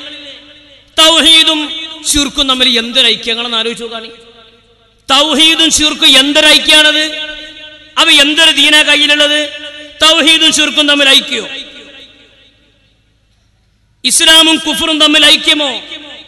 ഏ ആ എങ്ങനെയപ്പോ ഞങ്ങൾ കുഫറും ചുരുക്കുമൊക്കെ ആകണത് രണ്ട് വിഭാഗമായി പത്തു പതിനഞ്ച് കൊല്ലം രണ്ട് വിഭാഗമായി രണ്ട് ഭാഗമായി തിരിഞ്ഞ് മറുപടികളും ഖണ്ഡനങ്ങളും പ്രസംഗങ്ങളും നടത്തി ലേഖനങ്ങളെതിരെ സിംബോസിയങ്ങൾ സംഘടിപ്പിച്ച് മടവൂരും ഗ്രൂപ്പും തനിച്ച ശുർക്കിലാണെന്ന് എമ്മുകാരി എഴുതിയിട്ടുണ്ട് പറഞ്ഞിട്ടുണ്ട് പ്രസംഗിച്ചിട്ടുണ്ട്. നേരെ തിരിച്ചും പറഞ്ഞിട്ടുണ്ട്. ഈ ആരോപണങ്ങളൊന്നും തിരി തിരുത്തിയതായി നമ്മൾ ഇതുവരെ കേട്ടിട്ടില്ല. കൂടിയോടത്തൊന്നും വലുത് പറഞ്ഞതായി നമ്മൾ കേട്ടിട്ടില്ല. നമ്മൾ കേട്ടിട്ടില്ല. ഇന്ന ആശയങ്ങളൊക്കെ ഞങ്ങൾ പറഞ്ഞു കൊടുത്ത് ഞങ്ങൾ തിരുത്തി. അതിന്റെ പേരിൽ ഞങ്ങൾ കോംപ്രമൈസ് ആയി ഞങ്ങൾ ലയിച്ചു എന്ന് പറഞ്ഞിട്ടില്ല. പക്ഷേ ഈ ഐക്യനാടകം എന്തിന്റെ പേരെയാണെന്ന് ഞങ്ങൾക്കറിയാം? തീവ്രവാദാരോപണത്തിന്റെ പേരിൽ കേരളത്തിന്റെ പല ഭാഗങ്ങളിലും മുജാഹിദ് പ്രസ്ഥാനത്തിലെ നേതാക്കന്മാരോ അനുയായികളോ അഭ്യുദയകാംക്ഷികളോ പലരെയും പിടിക്കപ്പെടുന്ന സാഹചര്യം ഉണ്ടായി. അതിനൊരു നൂലാമാല സലഫികളെന്ന് പേരുണ്ടായി. ഇങ്ങനെ പോയാൽ പലരും പിടിക്കപ്പെടുമെന്ന സാഹചര്യം വന്നപ്പോൾ തങ്ങ അതിനെ പ്രതിരോധിക്കാൻ ഒരു കൂട്ടായ്മ ആവശ്യമാണ് എന്നൊരു തോന്നലിന്റെ പിൻബലമാണ് ഐക്യമെന്ന് നമ്മൾ ആരോപിക്കുകയല്ല. വ്യക്തമായ തെളിവിന്റെ അടിസ്ഥാനത്തിൽ നമ്മൾ മനസ്സിലാക്കിയതാണ്. എന്നാൽ മുജാഹിദുകളും സലഫികളും ഭീകരവാദികളാണെന്ന് നമ്മൾ പറയുന്നില്ല. തീവ്രവാദത്തിന്റെ മേൽ കേരളത്തിൽ നിന്ന് പലരെയും പിടിക്കപ്പെട്ടല്ലോ. തൃക്കരിപ്പൂരിൽ നിന്ന് പിടിച്ചു ചില ആളുകളെ. പെരുങ്ങത്തൂരിൽ നിന്ന് പിടിച്ചു. കാസർഗോഡിന്റെ പല ഭാഗങ്ങളിൽ നിന്ന് പിടിച്ചു. അവർക്ക് പലർക്കും മയ്യസുമായി ബന്ധമുണ്ടെന്ന് പറയപ്പെടുന്നു അള്ളാഹു ആലം അങ്ങനെ പറയപ്പെടുന്നു. അങ്ങനെ ആ പിടിക്കപ്പെട്ട മുപ്പതോളം ആളുകളിൽ ഒരാൾ പോലും കേരളത്തിലെ ഏതെങ്കിലും സുന്നി സംഘടനകളിൽ പ്രവർത്തിക്കുന്നവരാണ് പറയാൻ സാധ്യമല്ല. ആ പിടിക്കപ്പെട്ടവർ മുഴുവനും മുജാഹിദിന്റെ നേതാക്കന്മാരോ പ്രവർത്തകരോ അഭ്യുദയകാംക്ഷികളോ ആയിട്ടുണ്ട് ആ പിടിക്കപ്പെട്ടവർ. അതിന് വ്യക്തമായ കാരണങ്ങളുണ്ട്. നമ്മൾ തൗഹീദ് തരിപ്പ് പോകാന്നൊക്കെയാണ് എന്റെ ഭാഷയിൽ പറയാം. തൗഹീദ് തരിപ്പ് പോകാന്നാ പറയാം. തൗഹീദാണ് തരിപ്പ് പോയി പലരും പ്രസംഗിച്ചു. എന്താ പ്രസംഗിച്ചത്? നമ്മൾ റസൂലുല്ലാനെ സുന്നത്ത് മുറുകെ പിടിക്കുന്നവരല്ലേ? അതെ. അതുകൊണ്ട് റസൂലുല്ലാനെ ശരിയായ സുന്നത്ത് മുറുകെ പിടിച്ച് ജീവിക്കണമെങ്കിൽ എന്ത് ചെയ്യണം? നബി ജീവിച്ച പോലെ ജീവിക്കണം. അപ്പൊ അതിനെന്താ ചെയ്യേണ്ടത്? നബി ജീവിച്ചതുപോലെ ജീവിക്കണമെങ്കിൽ നമ്മുടെ നാട്ടിൽ ഭേദാലും നിർവാഹമില്ല. കാരണം നബി തങ്ങൾ ബസ്സിൽ കയറിയോ? ഇല്ല.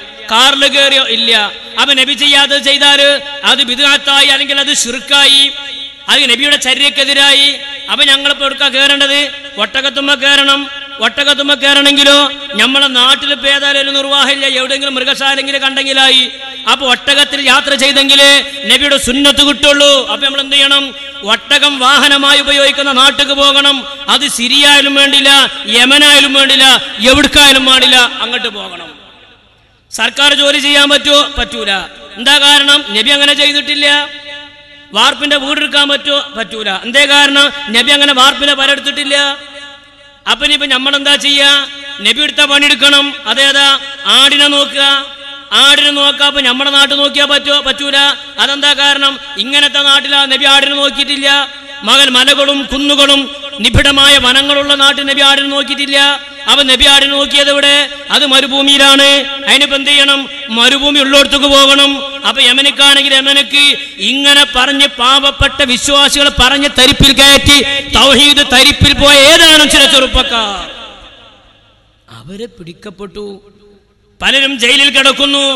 പലരും ചോദ്യം ചെയ്യപ്പെട്ടുകൊണ്ടിരിക്കുന്നു. ഇങ്ങനൊരു സാഹചര്യത്തിൽ മുന്നോട്ട് പോയാൽ ഐക്യപ്പെടാതിരുന്നാൽ അപകടത്തിൽ അപകടത്തിൽപ്പെടുമെന്ന ഒരു മുൻവിധിയിൽ നിന്നാണ് ഇങ്ങനെ ഐക്യനാടകം അങ്ങനെ കാസർഗോയ് തൃക്കരിപ്പൂര് പെരിങ്ങത്തൂര് ഭാഗത്തിൽ പടന്ന ഭാഗങ്ങളിൽ വേൾഡിൽ അറിയപ്പെടുന്ന ചാനലുകൾ ഇംഗ്ലീഷ് ചാനലുകൾ അവിടെ വന്നു. ഇത് വലിയ ചർച്ചകളായി മുജാഹിദിനെ പല നേതാക്കന്മാരുമായി ഇന്റർവ്യൂ നടത്തി. അവസാനം കുടുങ്ങുന്ന കണ്ടപ്പോ മുജാഹിദിന്റെ ഒരു നേതാവ് പറയാണ് ഞങ്ങൾ സലഫികളല്ല. ഏഹ് അപ്പൊ നിങ്ങളോ ഞങ്ങൾ സുന്യാൾ സലഫി എന്ന് പറഞ്ഞാൽ കുടുംബം ഞങ്ങൾ സുന്യാൾ അപ്പൊ ഇവിടെ സുന്യാൾ പറഞ്ഞ വേറെ ടീം ഉണ്ടല്ലോ. ഉണ്ട്. അവർ അവർ സുന്യല്ല അവർ ഷിയാക്കളാണ് ഞാൻ വെറുതെ പറയില്ല. ഒന്ന് കേട്ടോ നിങ്ങൾ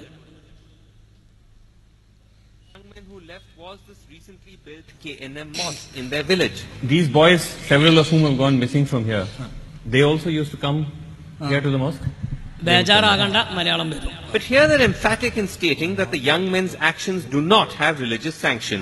No, ഒരിക്കലുമല്ല ഇതൊരിക്കലും സലഫി ചിന്താഗതിയായിട്ട് യോജിച്ച് പോകാൻ പറ്റുന്ന ഒരു കാര്യമല്ല അപ്പൊ സലഫികൾ പറയുന്നത് അവരവരുടെ നാട്ടിൽ നിന്നിട്ട് ഇസ്ലാമിക രീതിയിൽ ആ നാട്ടിലെ സൗകര്യങ്ങൾ ഉപയോഗപ്പെടുത്തി ജീവിക്കാൻ പറ്റുന്നത് എങ്ങനെയാണോ അങ്ങനെ ജീവിക്കുക എന്നുള്ളതാണ് clear. And yet they are emphatic in the rigidity of their beliefs, even if it means turning against their own families. Ten year Ten year ago you became Salafi. हाँ, sir. उससे पहले सुन्नी पहले सुन्नी और असुन्नी अच्छा why what क्यों കേരളത്തിലെ സുന്നികൾ ഒരിക്കലും പ്രവാചകന്റെ ചര്യയല്ല പിന്തുടരുന്നത് അതുകൊണ്ട് തന്നെ ആ കേരളത്തിലെ സുന്നിയാണ് ആരെ ചര്യ പിന്തുടരുന്നെന്ന് പറയേണ്ടത് സുന്നികളാണ് അത് നിങ്ങളെ സൗകര്യം പോലെ നിങ്ങളാ പറയല് ഇന്റെ സോക്കട എന്താണെന്നുള്ള നിങ്ങളല്ലല്ലോ ഞാനല്ല പറയേണ്ടത് കേരളത്തിലെ സുന്നികൾ ആരെ ചര്യാണ് പിന്തുടരുന്നത് നിങ്ങളല്ല പറയേണ്ടത് ഞങ്ങളാ പറയേണ്ടത് ഒരു സുന്നിയായ ഒരു മനുഷ്യൻ ഒരു മഹാന്റെ കബറുങ്ങൾ ചെന്ന് സിയാറത്ത് ചെയ്താൽ ഓനോട് ചോദിക്കേണ്ട ഇജിപ്പ് എന്താ ചെയ്തത് എന്ന് ഓൻ പറയും ഞാൻ സിയാറത്ത് ചെയ്തതാണ് ഇത് നബി പഠിപ്പിച്ചതാണ്. മറ്റോൻ പറയണ അല്ല ഇജ ഖബർ ആരാധനയാണ് ഓനൊക്കെ വെറുതെ വിടാൻ പറ്റുമോ ഇവൻ എന്താ ചെയ്തെന്ന് ഇവനോട് ചോദിക്കണ്ടേ? ഖബർ സിയാറത്ത് ചെയ്യുന്ന ഒരാളോട് നീ ഖബർ ആരാധന നടത്തി എന്ന് പറഞ്ഞാൽ? അങ്ങനെ പറയരുത്. ഈ സിയാറത്ത് ചെയ്തവനോട് ചോദിക്കണം നിന്റെ എടുത്ത പണി എന്താണ്? ഓം പറയും ഞാൻ സിയാറത്ത് ചെയ്തതാണ്. സിയാറത്തുൽ ഖുബൂർ സുന്നത്താണ്. ഇത് നബി പഠിപ്പിച്ചതാണ്. അല്ല ഇജ ഖബറാരാധന നടത്തിയതെന്ന് പറഞ്ഞാൽ അതിനൊന്നും മരുന്നില്ല. അപ്പൊ സുന്നികൾ നബിന്റെ ശരീരം എല്ലാം മുറുകെ പിടിക്കണമെന്നാണ് അയാൾ പറയുന്നത്. അവരെ കുറിച്ച് സുന്നികൾ എന്ന് പറയുന്നതിനേക്കാൾ ഉപരി ഏറ്റവും നല്ലത് കേരള ഷിയാക്കൾ എന്ന് വിളിക്കുന്നതാണ്. കണ്ടങ്ങൾ സുന്നികളെ സംബന്ധിച്ച് സുന്നികൾ എന്ന് പറയുന്നതിലേറെ നല്ലത്. കേരളത്തിലെ ഷിയാക്കൾ എന്ന് വിളിക്കണതാ നല്ലത് എന്നിട്ട് കേരള ഷിയാക്കൾ അതാണ് അവർക്ക് ഇപ്പം ചെയ്യുന്ന പേര് ഷിയ ലോകന ഡൽഹി ബോംബെ हाँ हाँ शिया केरला सुन्नी का एकदम अच्छा नाम सुन्नी नहीं है केरला शिया वो ये उन लोगों का एकदम अच्छा नाम जो केरला सुन्नी है वो सुन्नी नहीं है സുന്നി नहीं- उन लोग ആ, അവരത് സമ്മതിച്ചു തരൂല ആ ഞങ്ങൾ സമ്മതിച്ചേരാ ഞങ്ങൾ സമ്മതിച്ചേരാ നിങ്ങൾ ഞങ്ങളെ പറ്റി ഷിയാക്കൾ എന്ന് പറയാ എന്നിട്ട് ഞങ്ങളത് സമ്മതിച്ചു തരാ എന്തുകൊണ്ടാണ് കേരളത്തിലെ സുന്നികളെ പറ്റി നിങ്ങൾ ഷിയാക്കൾ എന്ന് പറഞ്ഞത്? നിങ്ങൾ സലഫികളാണെന്ന് പറഞ്ഞാൽ സലഫികൾ തീവ്രവാദികളാണെന്ന് ലോകം അംഗീകരിച്ചു കൊണ്ടിരിക്കുന്ന സാഹചര്യത്തിൽ ഞങ്ങളെ സംബന്ധിച്ച് ഈ സലഫികളാന്ന് പറഞ്ഞാൽ നിങ്ങളും കുടുങ്ങുന്നു മനസ്സിലാക്കിയിട്ടല്ലേ? ഞങ്ങൾ സുന്യാളും സുന്യാൾ സലഫിയാളും ഷിയാക്കളും. പറയേണ്ടി വന്നില്ലേ? മാത്രമല്ല ഇത് കെ എൻ എം പുറത്തിറക്കിയ ലഘുലേഖയാണ്. ആർക്കും വരാവുന്നതും ഇത് പരിശോധിക്കാവുന്നതുമാണ്. തീവ്രവാദ മുജാഹിദ് പ്രസ്ഥാനത്തിന്റെ ആദർശവും നിലപാടും എന്നാണ് ഈ ലഘുലേഖയുടെ ഹെഡിങ്. ഈ ലഘുലേഖയിൽ ഒരുപാട് അബദ്ധങ്ങൾ പറയുന്നുണ്ട്. ഇതിൽ പറയുന്ന ഇതിന്റെ ഇരുപതാമത്തെ പേജിൽ ഇതിന്റെ ഇരുപതാമത്തെ പേജിൽ പറയുന്ന അപകടകരമായ വിശുദ്ധമായ ദീനിൽ കണ്ടുകേട്ടില്ലാത്തൊരു സമീപനം. നോക്കിക്കോളിങ്ങൾ അവിശ്വാസികളുടെ അവിശ്വാസികൾക്കിടയിൽ താമസിക്കൽ തങ്ങളുടെ ദീനിനെ സംരക്ഷിക്കുന്നതിന് വേണ്ടി മുസ്ലിം രാജ്യത്തേക്ക് പാലായനം ചെയ്യാതിരിക്കൽ ക്രിസ്തുവർഷം അഥവാ ഇംഗ്ലീഷ് കലണ്ടർ ഉപയോഗിച്ചുള്ള തീയതി കുറിക്കൽ ഇസ്ലാമികമല്ലാത്ത ആഘോഷങ്ങൾക്ക് ആശംസകൾ അർപ്പിക്കൽ തുടങ്ങിയ കാര്യങ്ങൾ ഒരാളിലുണ്ടെങ്കിൽ അയാളിൽ വിശ്വാസത്തിന്റെ ഭാഗമായുള്ള അൽ വലാ അവശേഷിക്കുന്നില്ല. തീരാതെ ബേജാറാണ്ട ഞാൻ മര്യാദയ്ക്ക് പറഞ്ഞുതരാം. ഒരാൾ യഥാർത്ഥമായ വിശ്വാസം പരിപൂർണമായ ആ മുസ്ലിം ആകണമെങ്കിൽ എന്ത് ചെയ്യണം? ആ വിശ്വാസികൾക്കിടയിൽ താമസിക്കാൻ പറ്റൂല. നമ്മുടെ നാട് മിങ്കളായ സംസ്കാരമുള്ള നാടല്ലേ? ഇവിടെ ഹിന്ദും മുസ്ലിമും ക്രിസ്ത്യാനും ജൂതനും ജൈനമതക്കാരനും മതമുള്ളവനും ഇല്ലാത്തവനും നിങ്ങളായി ജീവിക്കുന്ന ഒരു നാട്ടിൽ അവിശ്വാസികൾക്കിടയിൽ താമസിച്ചാൽ അവന്റെ ഈമാൻ പരിപൂർണമല്ലെന്ന് എഴുതിയത് കെ എൻ എമ്മിന്റെ ലഘുലേഖയിലാണ്. അതിന് നിങ്ങൾ ആരും പിടിച്ചോണ്ട് ഞങ്ങളെ മേക്കിട്ട് കയറില്ല മാത്രമല്ല ക്രിസ്തു വർഷ മാത്രമല്ല അള്ളാന്റെ ദീന് സംരക്ഷിക്കുന്നതിന് വേണ്ടി മുസ്ലിം രാജ്യത്തേക്ക് പാലായനം ചെയ്യാതിരിക്കൽ.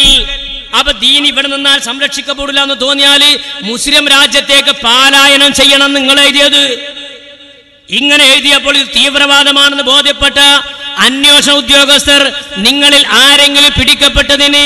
സുന്നികൾ എന്ത് പഴിച്ചു മാത്രല്ല ക്രിസ്തുവർഷം അഥവാ ഇംഗ്ലീഷ് കലണ്ടർ ഉപയോഗിച്ചുള്ള തീയതി കുറിക്കാൻ പറ്റൂല. മാത്രമല്ല ഇസ്ലാമികമല്ലാത്ത ആഘോഷങ്ങൾക്ക് ആശംസ അർപ്പിക്കുക അതൊന്നുണ്ടായാൽ ദീന് പരിപൂർണമാകൂല. അമുസ്ലിംകളെ സഹോദര എന്ന് അഭിസംബോധനം ചെയ്യുന്നത് നിഷിദ്ധമാണെന്ന് ഷെയ്ഖ് സോലിഹ് അൽ ഉസൈമി നൽകുന്ന ഫത്വയാണ്. ഈ പറയപ്പെട്ട ആൾ നിങ്ങൾ അംഗീകരിക്കുന്ന ആധുനിക പണ്ഡിതനാണ്. ഇങ്ങനെ ഒരു സമീപനം വിശുദ്ധമായ ദീനിലുണ്ടോ? ഇങ്ങനെയൊക്കെ എഴുതിയപ്പോഴും ഷംസുദ്ദീൻ ഭാരത്തിനെ പോലെയുള്ള പലരും ഈ നിലയ്ക്ക് പ്രസംഗിക്കുകയും ചെയ്തപ്പോൾ തീവ്രവാദമായ ബന്ധം നിങ്ങൾ ആരോപിക്കപ്പെട്ടതിൽ നമ്മൾ എന്ത് വഹിച്ചു അങ്ങനെ ഈ അഭിമുഖം ചർച്ചയായി.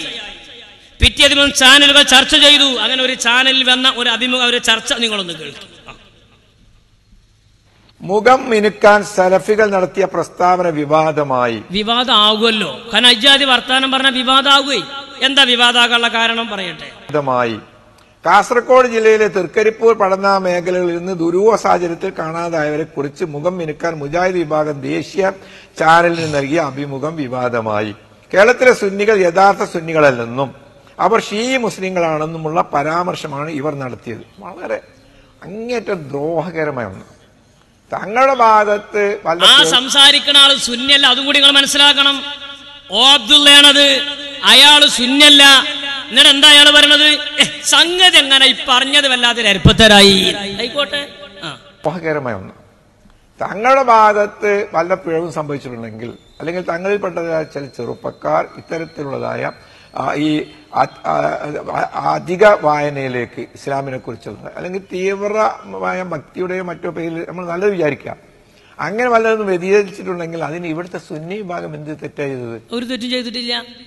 അങ്ങനെ അമിതമായ വായന അതാ ഞാൻ നേരത്തെ പറഞ്ഞ ഒട്ടകം ഒട്ടകത്തുമ്പോ യാത്രയിലും ആടിനെ മേക്കലും ഇവർ അധികമായൊരു വായനയിലേക്ക് ചെന്നതിന്റെ പേരിൽ പിടിക്കപ്പെട്ടതിന് സുന്നികൾ എന്ത് ആ. പ്രത്യേകിച്ച് ഔദ്യോഗിക വിഭാഗം സുന്നികൾക്ക് മാത്രമാണ് ഇവിടെ തലയെടുപ്പോടുകൂടി ഇക്കാര്യത്തിൽ കാര്യങ്ങൾ തുറന്ന് പറയാവുന്ന സേഫ് ആയിട്ടുള്ള ഒരു അവസ്ഥയുള്ളത്. സംസ്ഥാനെ പറ്റിയാണ് പറഞ്ഞത്. കായെടുത്ത് പറഞ്ഞല്ല അയാളെ മനസ്സിലുള്ളത് പറഞ്ഞ. കാര്യം മട്ടം പോലെ പറയാൻ നമ്മുടെ സംസ്ഥക്കേ പറ്റുള്ളൂ. ഒന്നും ഉദ്ദേശിച്ച് പറയുന്നതല്ല. അവരുടെ കൂട്ടത്തിലുള്ളതായ ഒരാളും ഈ ഇതിലേക്ക് വഴുതി പോവുകയോ ഇത്തരത്തിലുള്ള ചിന്താഗതികളാൽ ആകർഷിക്കപ്പെടുകയോ ചെയ്തിട്ടില്ല. അപ്പൊ കാന്തപുരം ഗ്രൂപ്പിനെ പറ്റി പോലും ചില ചില തരത്തിലുള്ളതായ ഭീകര പ്രവർത്തനങ്ങൾ എന്ന് ആളുകൾ കുറ്റപ്പെടുത്തിയതായ പള്ളിയിലേക്ക് ബോംബ് കത്തിച്ചെറിയലോ അതുപോലത്തെ കുറെ സംഭവങ്ങൾക്ക് മുമ്പ് നടന്നിട്ടുണ്ട്. മുമ്പല്ല എപ്പോഴും ഉണ്ട് ഞാൻ പൈക്ക് കിടക്കണില്ല. പക്ഷെ മറ്റു വിഭാഗങ്ങളിൽ നിന്നോ ഒന്നോ രണ്ടോ ആയിട്ടെങ്കിൽ കുറെ ആളുകളെല്ലാം തന്നെ ഈ സെൽഫി വിഭാഗത്തിൽ നിന്ന് അത് അകപ്പെട്ടിട്ടുണ്ട്. ഒന്നുമല്ലാത്തതായ പൊതുവെ ശാന്തമായ സഹകരിക്കാൻ പറ്റുന്നതായ വിട്ടുവീഴ്ചയുള്ളതായ മതത്തിന്റെ അതിവായനയില്ലാതെ സൗമ്യമായ രീതിയിൽ അതിന്റെ ആ ഉമ്മത്തും മുത്തവസിത്ത മ- മധ്യമ സമുദായം കാര്യങ്ങളോടുള്ള സമീപനത്തിൽ മധ്യമ മാർഗം സ്വീകരിക്കുന്ന ഒരു വിഭാഗം ഇവിടുത്തെ ഔദ്യോഗിക വിഭാഗം സുന്നികളാണ്. യാതൊരു സംശയവുമില്ല. അതുകൊണ്ടാണ് മാന്യമായി ഉത്തരവാദപ്പെട്ട സംഘടനയുടെ ലേബിളിൽ നിന്നുകൊണ്ട് മാന്യമായി നമ്മൾ കാര്യങ്ങൾ പറയണത്. നമുക്കിവിടെ ആരെയും അധിക്ഷേപിക്കാനോ വിമർശിക്കാനോ ഉള്ള വേദി ആയിട്ടല്ല നമ്മളിങ്ങനെ വേദി കെട്ടിയത്. കാര്യങ്ങൾ സമുദായത്തെ ബോധ്യപ്പെടുത്തി കൊടുക്കണം. ഇങ്ങനെയുള്ള നിർണായകമായ ഘട്ടത്തിൽ തൗഹിദാണെങ്കിൽ പോണ പാട്ട് പോട്ടെ. ചെറുക്ക് പോണ പാട്ട് പോട്ടെ. നമ്മളിപ്പോ തൗഹീദും ചുരുക്കും ജിന്നും ചെയ്താനും അടിച്ചിറക്കലും വലിച്ചിറക്കലും ചർച്ച നടത്തിയാൽ നമ്മൾ ഓരോരുത്തരെ പിടിക്കപ്പെടും. അതുകൊണ്ട് ഞാൻ തൗഹീദും ചുരുക്കൊന്നും നമ്മൾ നോക്കണ്ട. നമ്മൾ കോഴിക്കോട് കടപ്പുറത്തൊരു ഐക്യ സമ്മേളനം വെക്കുക. നായായ നാടായ നാടുകളിലൊക്കെ കുടുംബങ്ങളെയും കുട്ടികളെയും തൊക്കെ ഉണ്ടാക്കിയിട്ട് സമ്മേളനം നടത്തുക. തൊട്ടിരിയും പാത്രം കുടിക്കും ചട്ടക വന്നിട്ട് കുടിയിരിക്കൽ പോലെ പരിപാടി നടത്തുക. നമ്മൾ ഒന്നാം ആൾക്കാർക്ക് തോന്നിക്കോട്ടെ. എന്നൊരു ഐക്യ സമ്മേളനം നടത്തി ചോറയിച്ചു പോയാൽ അത് ഐക്യാകൂ. ഐക്യമാകണമെങ്കിൽ ആരോപിച്ച ആരോപണങ്ങളുടെ നിജ നിജസ്ഥിതികൾ എന്താണെന്ന് സമുദായം അറിയണ്ടേ? തർക്കണ്ടായത് കാടിന്റെ ഉള്ളിൽ വെച്ചിട്ടല്ലല്ലോ റോഡിന്റെ സൈഡിൽ വെച്ചിട്ടല്ലേ? വിവാദങ്ങൾ റോഡ് സൈഡിൽ വെച്ചല്ലേ നടന്നത്? പരസ്പര കുഫ്രാരോപണം ആരോപണം ശുർക്കാരോപണങ്ങളും നടുറോഡിൽ വെച്ചല്ലേ നടന്നത്? അതിന് പൊതുജനത്തോട് ഈ വിഷയങ്ങളിൽ ഞങ്ങൾ ഇങ്ങനത്തെ ഒരു നിലപാട് സ്വീകരിച്ചു. ഇന്നവർ തിരുത്തി ഇന്നവർ മാപ്പ് പറഞ്ഞു എന്ന് പറഞ്ഞ് നിങ്ങൾ തർക്കമുള്ള വിഷയങ്ങളിൽ നിലപാട് സമുദായത്തോട് പറയണ്ടേ? ഞാൻ പറയല്ല പതിനെട്ടോളം വിഷയങ്ങളിൽ മടവൂര് ഗ്രൂപ്പും കെ എൻ എമ്മും തമ്മിൽ പതിനെട്ടോളം വിഷയങ്ങളിൽ അടിസ്ഥാനപരമായി പേച്ചിട്ടുണ്ട് ഞങ്ങൾ പറഞ്ഞത്. ഞാൻ പറയല്ല മുജാഹിദിന്റെ നേതാവാ പറയണത്. പറയട്ടെ. ഖുർആാനിന്റെയും സുന്നത്തിന്റെയും അടിസ്ഥാനത്തിൽ പതിനെട്ടോളം വിഷയങ്ങളിൽ തകരാറ് പറ്റിയിട്ടുണ്ട് എന്ന് കൃത്യമായി തെളിഞ്ഞതും വിവരിച്ചു കൊടുത്തതുമാണ്. ആശയപരമായ വിഷയങ്ങളിൽ തിരിച്ചു വരുമെങ്കിൽ അത് എന്നും കേരള നെതുവത്തുൽ മുജാഹിദീൻ നേരത്തെ ആഹ്വാനം ചെയ്തിട്ടുള്ള കാര്യമാണ്. മാത്രമല്ല എന്നെ പറഞ്ഞത്? അടിസ്ഥാനപരമായി പതിനെട്ട് വിഷയങ്ങൾ തകരാറുവാക്കിയിട്ടുണ്ട് പതിനെട്ടെണ്ണം വേണ്ട പതിനഞ്ചെണ്ണം വേണ്ട പത്തെണ്ണം വേണ്ട നിങ്ങൾ പരസ്പരം പിഴച്ചു എന്നും പരസ്പരം ചുരുക്കാരോപിച്ച ഏതെങ്കിലും ഒരു വിഷയത്തിൽ നിങ്ങളുടെ നിലപാട് പറ. മണപൂരിന്റെ അടുത്ത് തെറ്റേറ്റിക്കണ് ഓൽ തിരുത്തി അപ്പൊ ഞങ്ങൾ ഓല സ്വാഗതം ചെയ്തു. പറ. എഴുത് അല്ലെങ്കിൽ പറ. അത് കെ എൻ എമ്മിന്റെ അടുത്ത് ഇങ്ങനെ തെറ്റുപറ്റി അത് കെ എൻ എമ്മുകാരെ തിരുത്തി അപ്പൊ മടപൂരുകാരായ ഞങ്ങൾ ഓരോ സ്വാഗതം ചെയ്തു എന്ന് പറ. ഒരൊറ്റ വിഷയത്തിലും പരസ്പരം ധാരണകളിൽ എത്തിയിട്ടില്ല വരും ദിവസങ്ങളിൽ അതിശക്തമായ പൊട്ടലുകൾക്കും ചീറ്റലുകൾക്കും ഐക്യ സമ്മേളനം വേദിയാവാൻ പോവുകയാണ്. ഒരു വിഷയത്തിനും തീരുമാനമായിട്ടില്ല. പതിനെട്ടോളം വിഷയത്തിൽ തമ്മിൽ തല്ലുന്നുണ്ട് എന്നുള്ളത് ഇയാൾ അപ്പോഴാണ് നമ്മൾ അറിയണത് നോക്കൂ നിങ്ങൾ രണ്ടായിരത്തി അഞ്ച് മെയ് മാസം പുറത്തിറങ്ങിയ അല്ലിസ്ലാഹ് മാസിക. അല്ലിസ്ലാഹ് മാസികൾ നോക്കൂ നിങ്ങൾ മടപൂരികൾ എങ്ങനെ കെ എൻ എമ്മുമായി ഐക്യപ്പെടും? ഇതൊക്കെ ഓല ഭാഷയായിട്ട് നമ്മൾ പറയില്ല. മടവൂരി ജിന്നൂരി വലിച്ചൂരി എന്നൊക്കെ പറഞ്ഞത് ഓല ഭാഷയാണ്. നമ്മളെ ഭാഷ നമ്മളാരൊന്നും പറയണില്ല. അപ്പോൾ മടവൂരികൾ എങ്ങനെ കെ എൻ എമ്മുമായി ഐക്യപ്പെടുന്നതാണ് അല്ലിസ്ലാഹ് മാസിക ചോദിക്കുന്നത് അതിന്റെ പ്രധാന ഭാഗം ഞാനൊന്ന് വായിക്കാം. ആശയപരമായ അഭിപ്രായ ഭിന്നതയുടെ പേരിൽ പരസ്പരം വേർപിരിഞ്ഞ മുജാഹിദുകൾ എങ്ങനെ വേർപിരിഞ്ഞത്? സംഘടനല്ല ഇവിടെ സമസ്ത വേർപിരിഞ്ഞത് സംഘടനയുടെ പേരിലാണ്. ഇവിടെ വിശ്വാസത്തിന്റെ പേരിൽ സമസ്ത വേർപിരിഞ്ഞിട്ടില്ല. സംഘടനാപരമായ ചിലർക്ക് അധികാരത്തിന്റെ പ്രസിഡന്റും സെക്രട്ടറി ആകാനുള്ള പൂതി നെറുന്തലയിൽ കയറിയപ്പോൾ വേറെ സംഘടന ഉണ്ടായിപ്പോയി.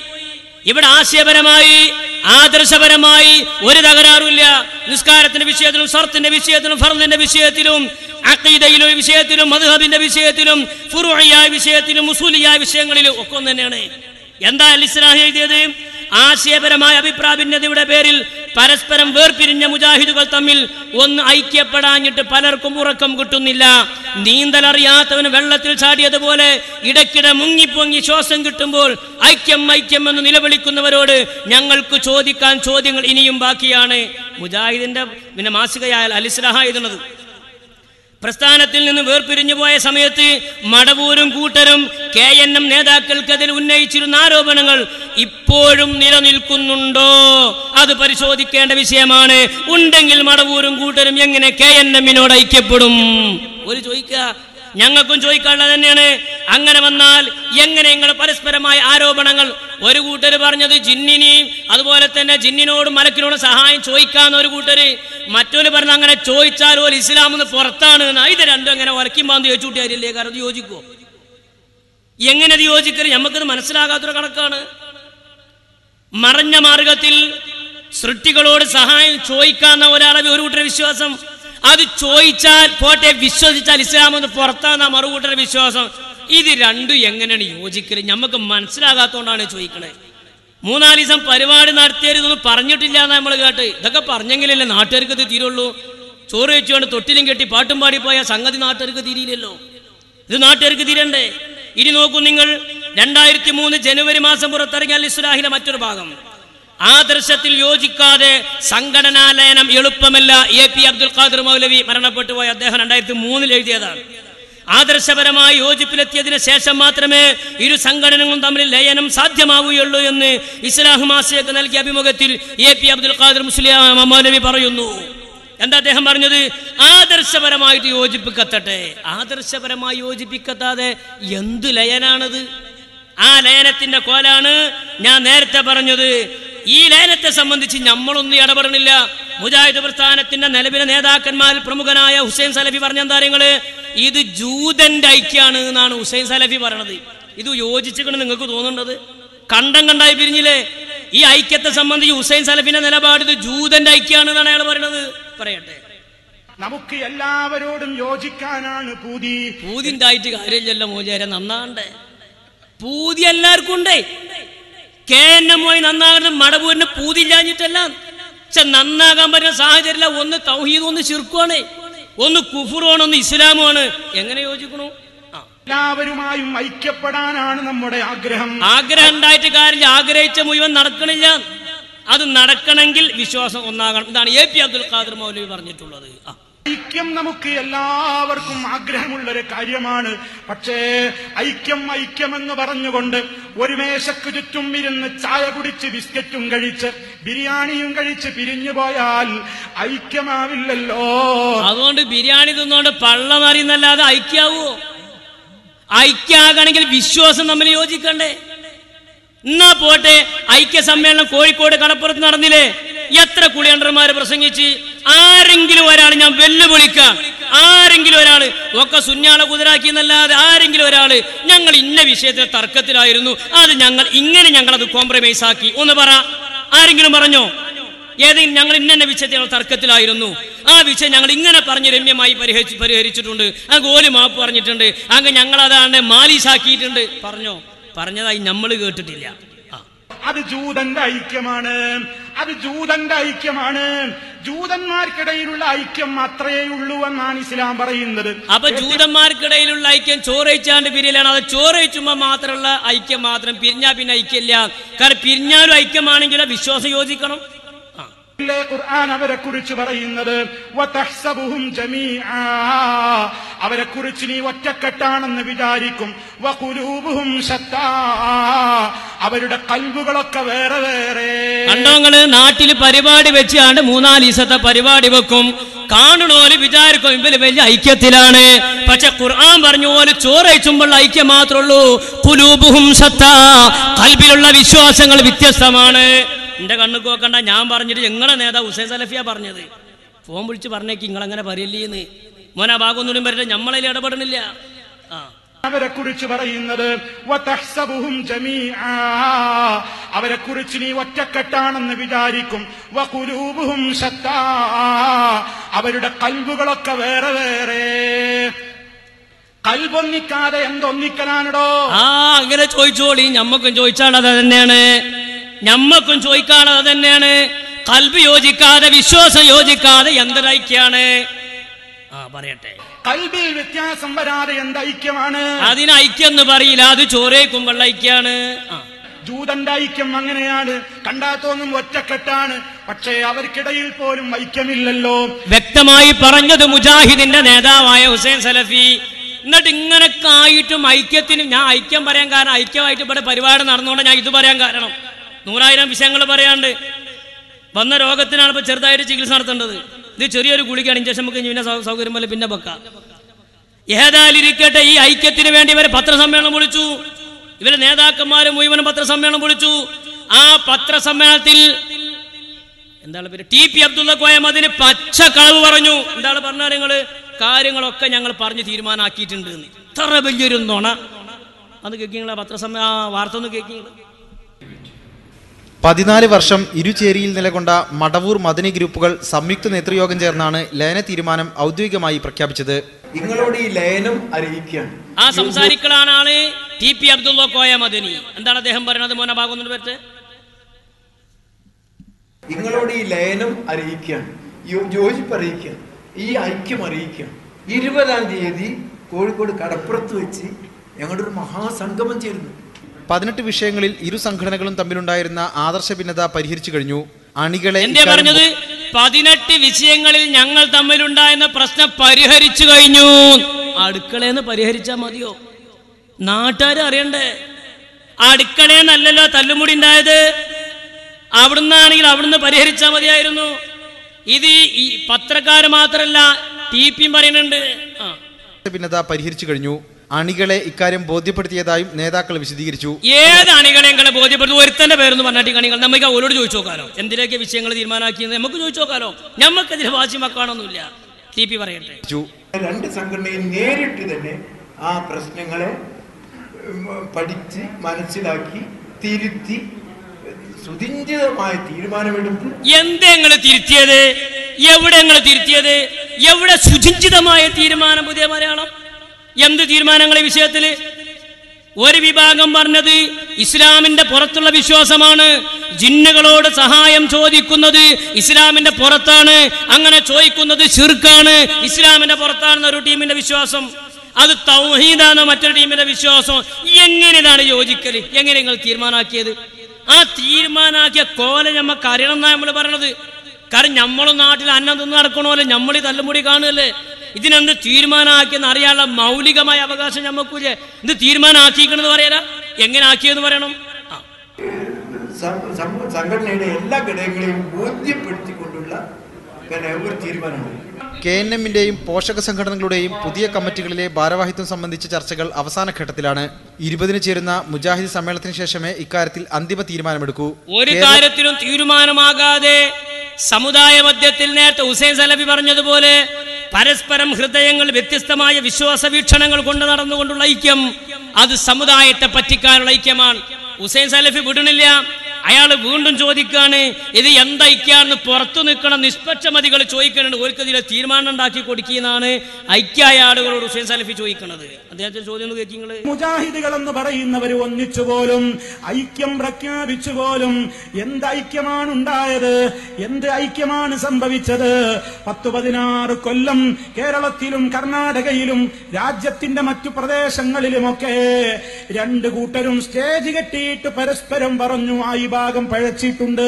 അതിന് കാരണങ്ങൾ നിരത്തി ഇന്ന ഇന്ന കാരണങ്ങളാൽ അവർക്ക് പഴവ് സംഭവിച്ചിട്ടുണ്ട്. അപ്പുറത്തെ കക്ഷിയും സ്റ്റേജുകളിലൂടെയും പേജുകളിലൂടെയും നാട്ടിലൊട്ടാകെ പറഞ്ഞു നടന്നു. ഇപ്പുറത്തെ ഈ ഭാഗത്തിന് പഴവ് പറ്റിയിട്ടുണ്ട്. അപ്പൊ ഇത് കേൾക്കുമ്പോ സാധാരണക്കാർ വിചാരിക്കും അപ്പൊ ഇയാൾ എന്ത് മുജാഹിദാണ് അത് അയക്കാനെ തിരിയില്ല ഇയാൾ എന്തെന്ന് അയക്കാൻ അറിയില്ല?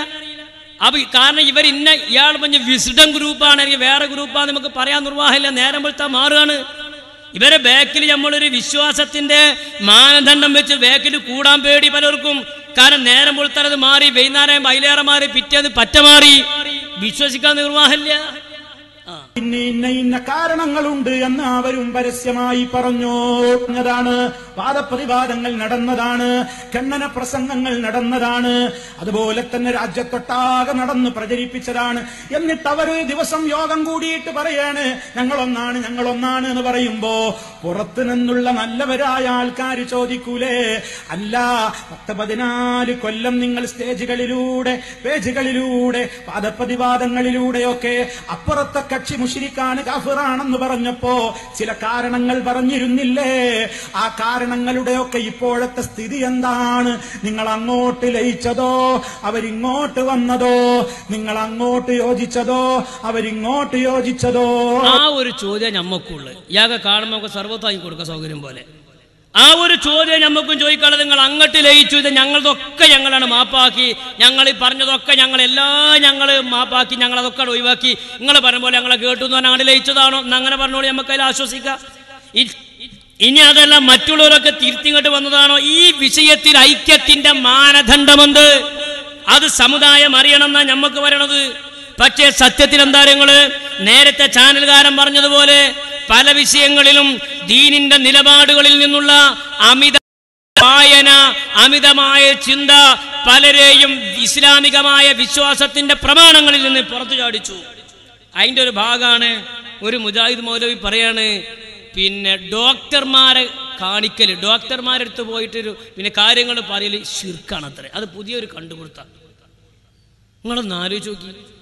ഡോക്ടർമാരെടുത്ത് പോകൽ ചുരുക്കാണ്. എന്താ അയാൾ അതിന് അറിയങ്ങൾ അല്ലല്ലാത്തവരോട് സഹായം ചോദിച്ചില്ലേ എന്നാ? അല്ലല്ലാത്തവരോട് സഹായം ചോദിച്ചില്ലേ? അപ്പൊ അല്ലല്ലാത്തവരോട് സഹായം ചോദിച്ചത് കൊണ്ട് ഡോക്ടറോട് സഹായം ചോദിച്ചാൽ ഡോക്ടറെ പള്ളവേദനായിട്ട് നിർവാഹമില്ല. എന്തെങ്കിലും ഗുളിക തരീന്ന് പറഞ്ഞാൽ ആ സ്പോട്ടിനോ പുറത്തുപോയി പിന്നെ ആരാ സ്വർഗത്തൊക്കെ ഉണ്ടാകും നിങ്ങൾ നാലാൾക്കാരോ? പേടിയാവൂലേ? സ്വർഗം തന്നെ കെ എൻ എമ്മിന്റെ ഓഫീസിന്റെ നാല് മൂലുള്ള ഒരു റൂമാ നെറ്റെടുത്തി ഞങ്ങൾ സ്വർഗം പ്രവിശാലല്ലേ? അപ്പൊ എന്താണ് ചുരുക്കുന്നോ എന്താണ് തൗഹീദെന്നോ എന്താണ് ദുആന്നോ എന്താണ് ഇബാദത്തുന്നോ ഇതിന്റെ നിർവചനങ്ങളൊക്കെ സ്വന്തമായി ഇങ്ങനെ ഉണ്ടാക്കുക.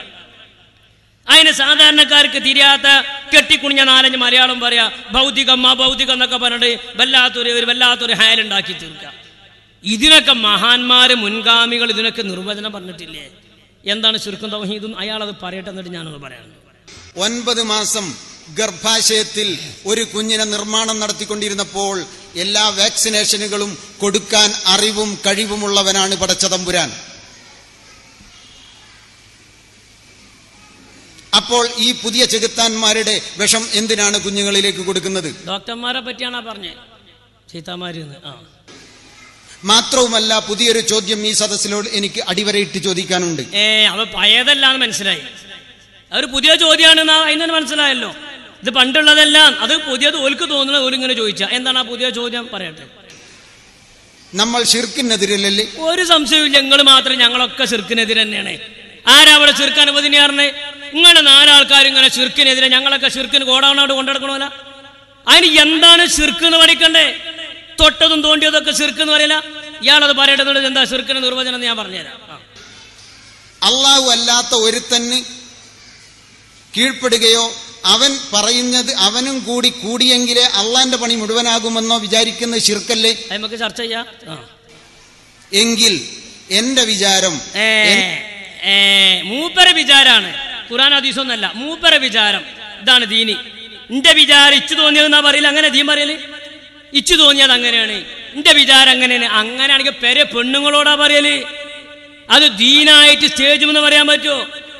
ഞാൻ ഇവിടെ വന്നാണ് ഇച്ചു തോന്നി എങ്ങനെയാണ് ഇച്ചു തോന്നി എങ്ങനെയാണ് എന്റെ മര്യാദ നിങ്ങൾ വീടും എന്റെ പേരേക്ക്? ആ. എങ്കിൽ എന്റെ വിചാരം എന്റെ കുഞ്ഞിനെ പൂർണതയോടുകൂടി സൃഷ്ടിച്ച് എല്ലാ വാക്സിനേഷനും കൊടുത്ത് പുറത്തേക്ക് കൊണ്ടുവരാൻ അള്ളാഹു മാത്രം മതി. പോരാ അള്ളാന്റെ കൂടെ ഡോക്ടർമാരും ഗൈനക്കും കൂടെ കൂടണമെന്നാണ് വിചാരമെങ്കിൽ അത് ശിർക്കാണ് കൊടിയ ശിർക്കാണ് എന്ന് വിശ്വസിക്കുന്ന ആളാണ് ഞാൻ. ഇയാളൊക്കെ വെറുതെ പെടാൻ പറ്റും നിങ്ങളൊന്ന് ആലോചിച്ച് നോക്കി. എന്റെ പെണ്ണുങ്ങൾ പെറാന് പഠിച്ചോ മാത്രം പോലെ ഡോക്ടർ കൂടി സഹായമാണെന്ന് വിശ്വസിച്ച ഓന് ചിർക്ക് ചെയ്തു. എന്ത് അപ്പൊ എന്താ ചിർക്കിന്റെ നിർവചനം എന്ന് പറഞ്ഞാൽ? എന്താ ചിർക്ക് എന്ന് പറഞ്ഞാൽ മൗലിതോതുന്നത് മന്ത്രി ചൂതുന്നത് സ്വലാത്ത് ചൊല്ലുന്നത് ദുആ നടത്തുന്നത് അടക്കമുള്ള സുന്നികൾ ചെയ്യുന്ന നാളിതുവരെ ചെയ്തു പോന്ന വിശ്വാസാചാരങ്ങളെ ചുരുക്കെന്ന് പറയുന്നത് ഏത് മാനദണ്ഡത്തിന്റെ അടിസ്ഥാനത്തിലാണ്? എന്താ ചുരുക്കെന്ന് പറഞ്ഞാൽ? ഷിർക്കിനൊരു നിർവചനം മഹാന്മാർ ഇവിടെ പഠിപ്പിച്ചു വെച്ചിട്ടില്ലേ? എന്താ ഷിർക്ക് എന്ന് പറഞ്ഞാൽ? അള്ളാഹുവിന്റെ ഉലൂഹിയത്തിൽ പങ്കുകാരെ ചേർക്കുന്നതിനാണ് ഷിർക്ക് എന്ന് പറയുന്നത്.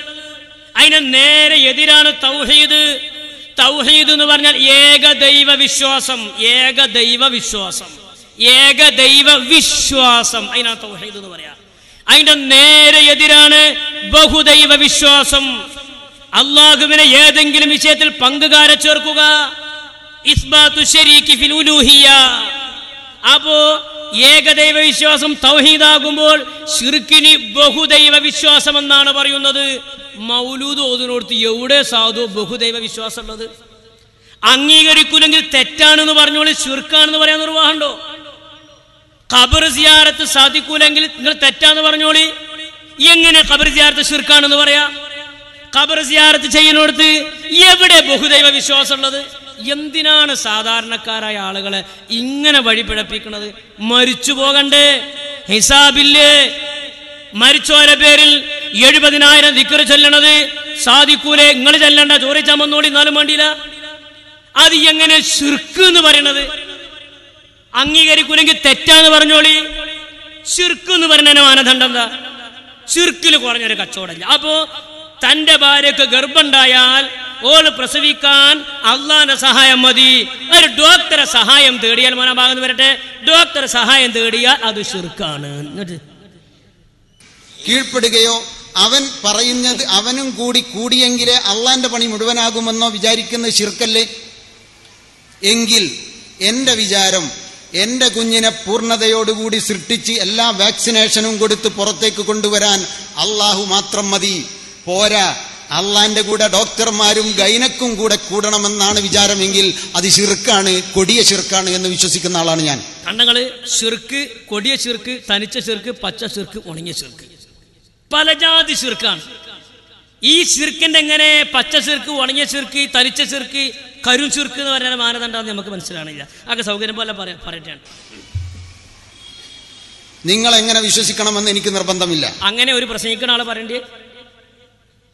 അങ്ങനെ പ്രസംഗിക്കുന്ന ഒരാൾ പറയണ്ടേ ഇന്റെ തോന്നൽ ഇങ്ങനെയാണ് നിങ്ങൾ എങ്ങനെ ആക്കിയാലും വേണ്ടിയില്ല അങ്ങനല്ല ദീൻ പറയേണ്ടത്. ദീൻ ഖുർആൻ ഇങ്ങനെ പറഞ്ഞത് ഹദീസ് ഇങ്ങനെ പറഞ്ഞത് സലഫ് സോലഹിങ്ങൾ ഇങ്ങനെ പറഞ്ഞത് ഇമമാ ഇമാമുമാർ ഇങ്ങനെ പറഞ്ഞത് മദ്ഹബിന്റെ കാഴ്ചപ്പാട് ഇങ്ങനെയാണ്. അങ്ങനല്ലേ പറയൽ? ഇച്ചിങ്ങനെ തോന്നിയത് നിങ്ങൾ നിങ്ങൾ എങ്ങനെ കാട്ടിയാലും വേണ്ടിയില്ല അങ്ങനല്ല ഒരു പ്രബോധകം ചെയ്യേണ്ടത് ആ. ഞാൻ അങ്ങനെ വിശ്വസിക്കുന്നത് കൊണ്ട് ഞാൻ ഗർഭ എന്റെ ഭാര്യയോ എന്റെ മക്കളോ എനിക്ക് സ്വാതന്ത്ര്യമുള്ളയിടത്തുള്ള പെൺകുട്ടികളോ ഗർഭം ധരിച്ചാൽ ഒരു ഡോക്ടറെയും കാണാൻ സമ്മതിക്കില്ല. കാരണം ഞാൻ അവരോട് പറയും അത് ശിർക്കാണ്. ഇവരൊക്കെ ബേക്കൽ പോയ സ്വർഗത്തേക്ക് ബഡ്ജറ്റും പോകില്ല എന്നെ അഭിപ്രായം.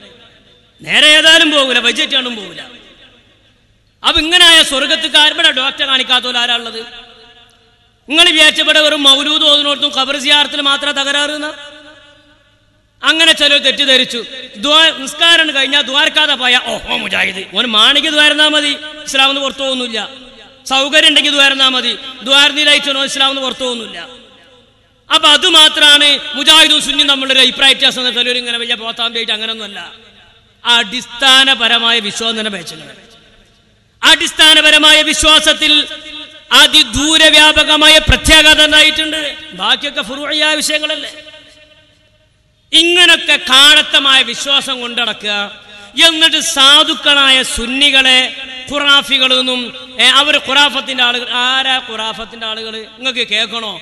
മലപ്പുറം ജില്ലയിലെ അറിയപ്പെടുന്ന ഒരു മുജാഹിദ് കുടുംബം അറിയപ്പെടുന്ന ഒരു മുജാഹിദ് കുടുംബം ആ വീട്ടിലുള്ളവർ മുഴുവനും മുജാഹിദിന്റെ പാരമ്പര്യ കുടുംബത്തിൽപ്പെട്ടവരാണ്. എല്ലാവരും നല്ലോണം പഠിച്ചോലുമാണ്. ഉലമ നല്ലോണം പഠിച്ചോലും അത് പഠിച്ചാൽ എന്തോ അഫ്സലുൽ ഉലമ. അത് പഠിച്ചവരാണ് ആ പരക്കാര് എന്നിട്ട് അതിലൊരുത്തിക്ക് സോക്കടായി. ഡോക്ടർ അടുത്തേക്കല്ല കൊണ്ടുപോയത്. ജിന്ന് ചികിത്സകരുടെ അടുത്ത് കൊണ്ടുപോയി. ഞാൻ എന്റെ ഭാഗം ഒരു ഹർഫ് ഞാൻ കൂട്ടിയിട്ടില്ല. മുജാഹിദ് മൗലി നിങ്ങൾക്ക് അത് പറഞ്ഞു തരും അങ്ങനെ കൊണ്ടുപോയി. അങ്ങനെ ജിന്ന് ചികിത്സകാരുടെ അടുത്ത് കൊണ്ടുപോയി. അയാൾ ജിന്ന് ചികിത്സ അങ്ങനെ തുടങ്ങി. കുറെ നേരം കഴിഞ്ഞപ്പോൾ പള്ളന്റെ ഉള്ളത് ഇങ്ങനെ ഉരുളൽ തുടങ്ങി. ആര്? ജിന്ന്. അങ്ങനെ ജിന്ന് ഉരുണ്ട് ഉരുണ്ട് ഉരുണ്ട് ഇങ്ങനെ പള്ളമ്മ കൂടെ കയറി ഇങ്ങനെ നെഞ്ഞു നെഞ്ഞുകൂടെ കയറി കൊല്ലിയിലെത്തി. അപ്പൊ മന്ത്രിക്കണാക്ക് ഫോം വന്ന്. ഏയ് ജിന്ന് കൊല്ലിയിലെത്തിയ മന്ത്രിക്കണാക്ക് ഫോമെന്ന് വന്ന് ഇയാൾ ഫോൺ അറ്റൻഡ് ചെയ്ത് വന്ന് നോക്കുമ്പോൾ ജിന്ന് കൊല്ലിയിൽ ഉറച്ചുക്കണമല്ലോ എന്റെ വക പറയല്ല ആരാണ് ഈ ഖുറാഫത്ത് ഇവിടെ പഠി- പഠിപ്പിച്ചത്? പറയട്ടെ. എന്റെ നാട്ടിലെ പരിസരത്ത് നിന്നാണ് ഞാനിത് നിങ്ങളോട് സംസാരിക്കുന്നത്. വേദനയോടുകൂടെ തന്നെയാണ്. അതിലേറെ വേദനയോട് കൂടിയാണ് ഞങ്ങൾ അത് കേൾക്കുന്നത് ഞങ്ങൾക്കും വേദന എടുത്ത് ഇത് ഇസ്ലാമിന്റെ പേരിലല്ലേ?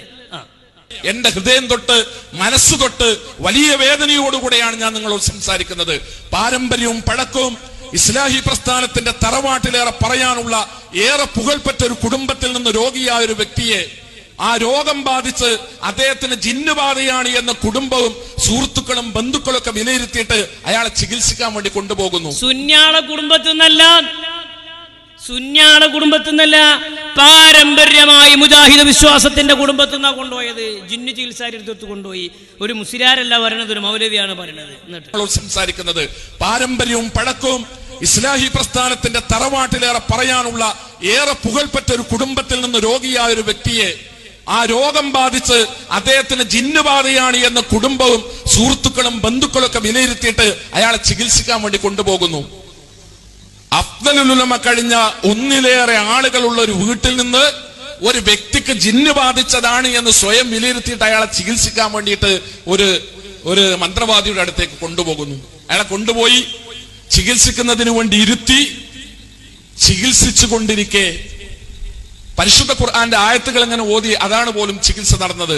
ഓതിക്കൊണ്ടിരിക്കുമ്പോ ഈ രോഗിയുടെ വയറ്റിന്റെ അകത്തുനിന്ന് ഒരു മുഴ അതിങ്ങനെ ഉരുണ്ട് ഉരുണ്ട് ഉരുണ്ട് മെല്ലെ മെല്ലെ നെഞ്ചിലൂടെ അങ്ങനെ മേലേക്ക് കയറി വന്നു. ആ അപ്പൊ ജിന്ന്. പള്ളന്റെ ഉള്ളിലാ പാർക്കരത്രേ. ജിന്ന് പള്ളന്റെ ഉള്ളിലാ അതിങ്ങനെ മോയായിട്ട് ഉരുണ്ടിങ്ങനെ വരലാണ് എന്നിട്ട്. അതാണ് പോലും ചികിത്സ നടന്നത്. ഓതിക്കൊണ്ടിരിക്കുമ്പോ ഈ രോഗിയുടെ വയറ്റിന്റെ അകത്തുനിന്ന് ഒരു മുഴ അതിങ്ങനെ ഉരുണ്ടുരുണ്ടുരുണ്ട് ഉരുണ്ട് ഉരുണ്ട് മെല്ലെ മെല്ലെ നെഞ്ചിലൂടെ അങ്ങനെ മേലേക്ക് കയറി വന്നു. ജിന്നാണ്. നോക്കിങ്ങൾ. അപ്പൊ ഞമ്മക്കിതൊരു പുതിയ ഇൽമ. ജിന്ന് പള്ളന്റെ ഉള്ളിൽ പാർത്ത് മന്ത്രിച്ചത് ഉരുണ്ടിട്ട് ഇങ്ങനെ മേപ്പെട്ട് ഇങ്ങനെ ഉരുണ്ട് വരുന്ന എന്താ ഫുട്ബോളായി കയറാം എന്നിട്ട്? ശരീരത്തിന്റെ അകത്തുനിന്ന് പുറത്തേക്ക് ഓത്തിങ്ങനെ കേൾക്കുമ്പോ ശരീരത്തിന്റെ അകത്തുനിന്ന് പുറത്തേക്ക് വരികയാണ്. ഏതെങ്കിലും ഖുറാഫി കുടുംബത്തിലെ കഥയല്ല ഞാൻ പറയുന്നത്. ഏ പിന്നെ ആരെ കുടുംബത്തിലത്തെ കഥയാണ്? ഖുറാഫിയാൾ നിങ്ങൾ ഞങ്ങളെ പറ്റിയല്ലേ പറയണേ? സുന്യാള കുടുംബത്തിലത്തെ കഥല്ല ആരാ അവിടെ പഴച്ചുപോയത് നബി തങ്ങളുടെയും സ്വഹാബത്തിന്റെ ചര്യയിൽ നിന്ന് ബഹുദൂരം അതിവേഗം സഞ്ചരിച്ചതാരാ? ഖുറാഫിയാളെ കുടുംബത്തിലത്തെ കഥല്ല പറയണത് എന്നിട്ട്. ഇസ്ലാഹി മരിക്കുന്നത് വരെ ഇസ്ലാഹി പ്രസ്ഥാനത്തിന്റെ സംസ്ഥാന തലത്തിൽ അമരത്തിരുന്ന ഒരു മഹാവ്യക്തിയുടെ വീട്ടിനകത്ത് നിന്ന് രോഗിയായ ഒരു മനുഷ്യരെ മാന്ത്രികന്റെ അടുത്ത് മന്ത്രവാദിയുടെ അടുത്ത് കൊണ്ടുപോയിട്ട് ചികിത്സിച്ച് അതിനെപ്പറ്റി അതിന്റെ ആളുകൾ വിശദീകരിക്കുന്ന കഥയാണ് അപ്പൊ പിന്നെ ബാക്കിയുള്ള സാധാരണക്കാരനെ പിന്നെ പറയാൻ തന്നെ ഇല്ല. വലിയ നേതാവിന്റെ കഥ എങ്ങനെയാണെങ്കിൽ പിന്നെ ബാക്കി പോട്ടയുണ്ട് അതിനെപ്പറ്റി അതിന്റെ ആളുകൾ വിശദീകരിക്കുന്ന കഥയാ. അതിങ്ങനെ ഉരുണ്ടു വന്നു. എന്നിട്ട് ചങ്കിലെത്തി. ഈ മുഴ ചങ്കിലെത്തിയ സമയത്ത് ഓതുന്നയാൾക്ക് ഫോൺ വന്നു. അത് അറ്റൻഡ് ചെയ്യാൻ വേണ്ടി അയാൾ പുറത്തുപോയി. പുറത്തുപോയി അയാൾ തിരിച്ചു വന്നപ്പോ ജിന്ന് കൗത്തിൽ മുഴ രോഗിയുടെ ചങ്കിൽ ഉറച്ചു പോയിരിക്കുന്നു ഇനി അത് അങ്ങോട്ടും നീങ്ങില്ല. ഇനി ഓതിയാൽ രോഗി മരണപ്പെട്ടു പോകും. അങ്ങനെ ഒരു ചികിത്സാ രീതി ഖുർആൻ കൊണ്ട് തെളിയിക്ക്. ജിന്നു കൊല്ലി കുടുങ്ങിയ ഒരു ചികിത്സ. സ്വഹാബികളുടെ ഏതെങ്കിലും ഹതി ഇത്തിബാ കൊണ്ട് തെളിയിക്ക്. അങ്ങനെ ചരിയുണ്ടോ ജിന്നു കൊല്ലി കുടുങ്ങിയ ഒരു ചികിത്സ.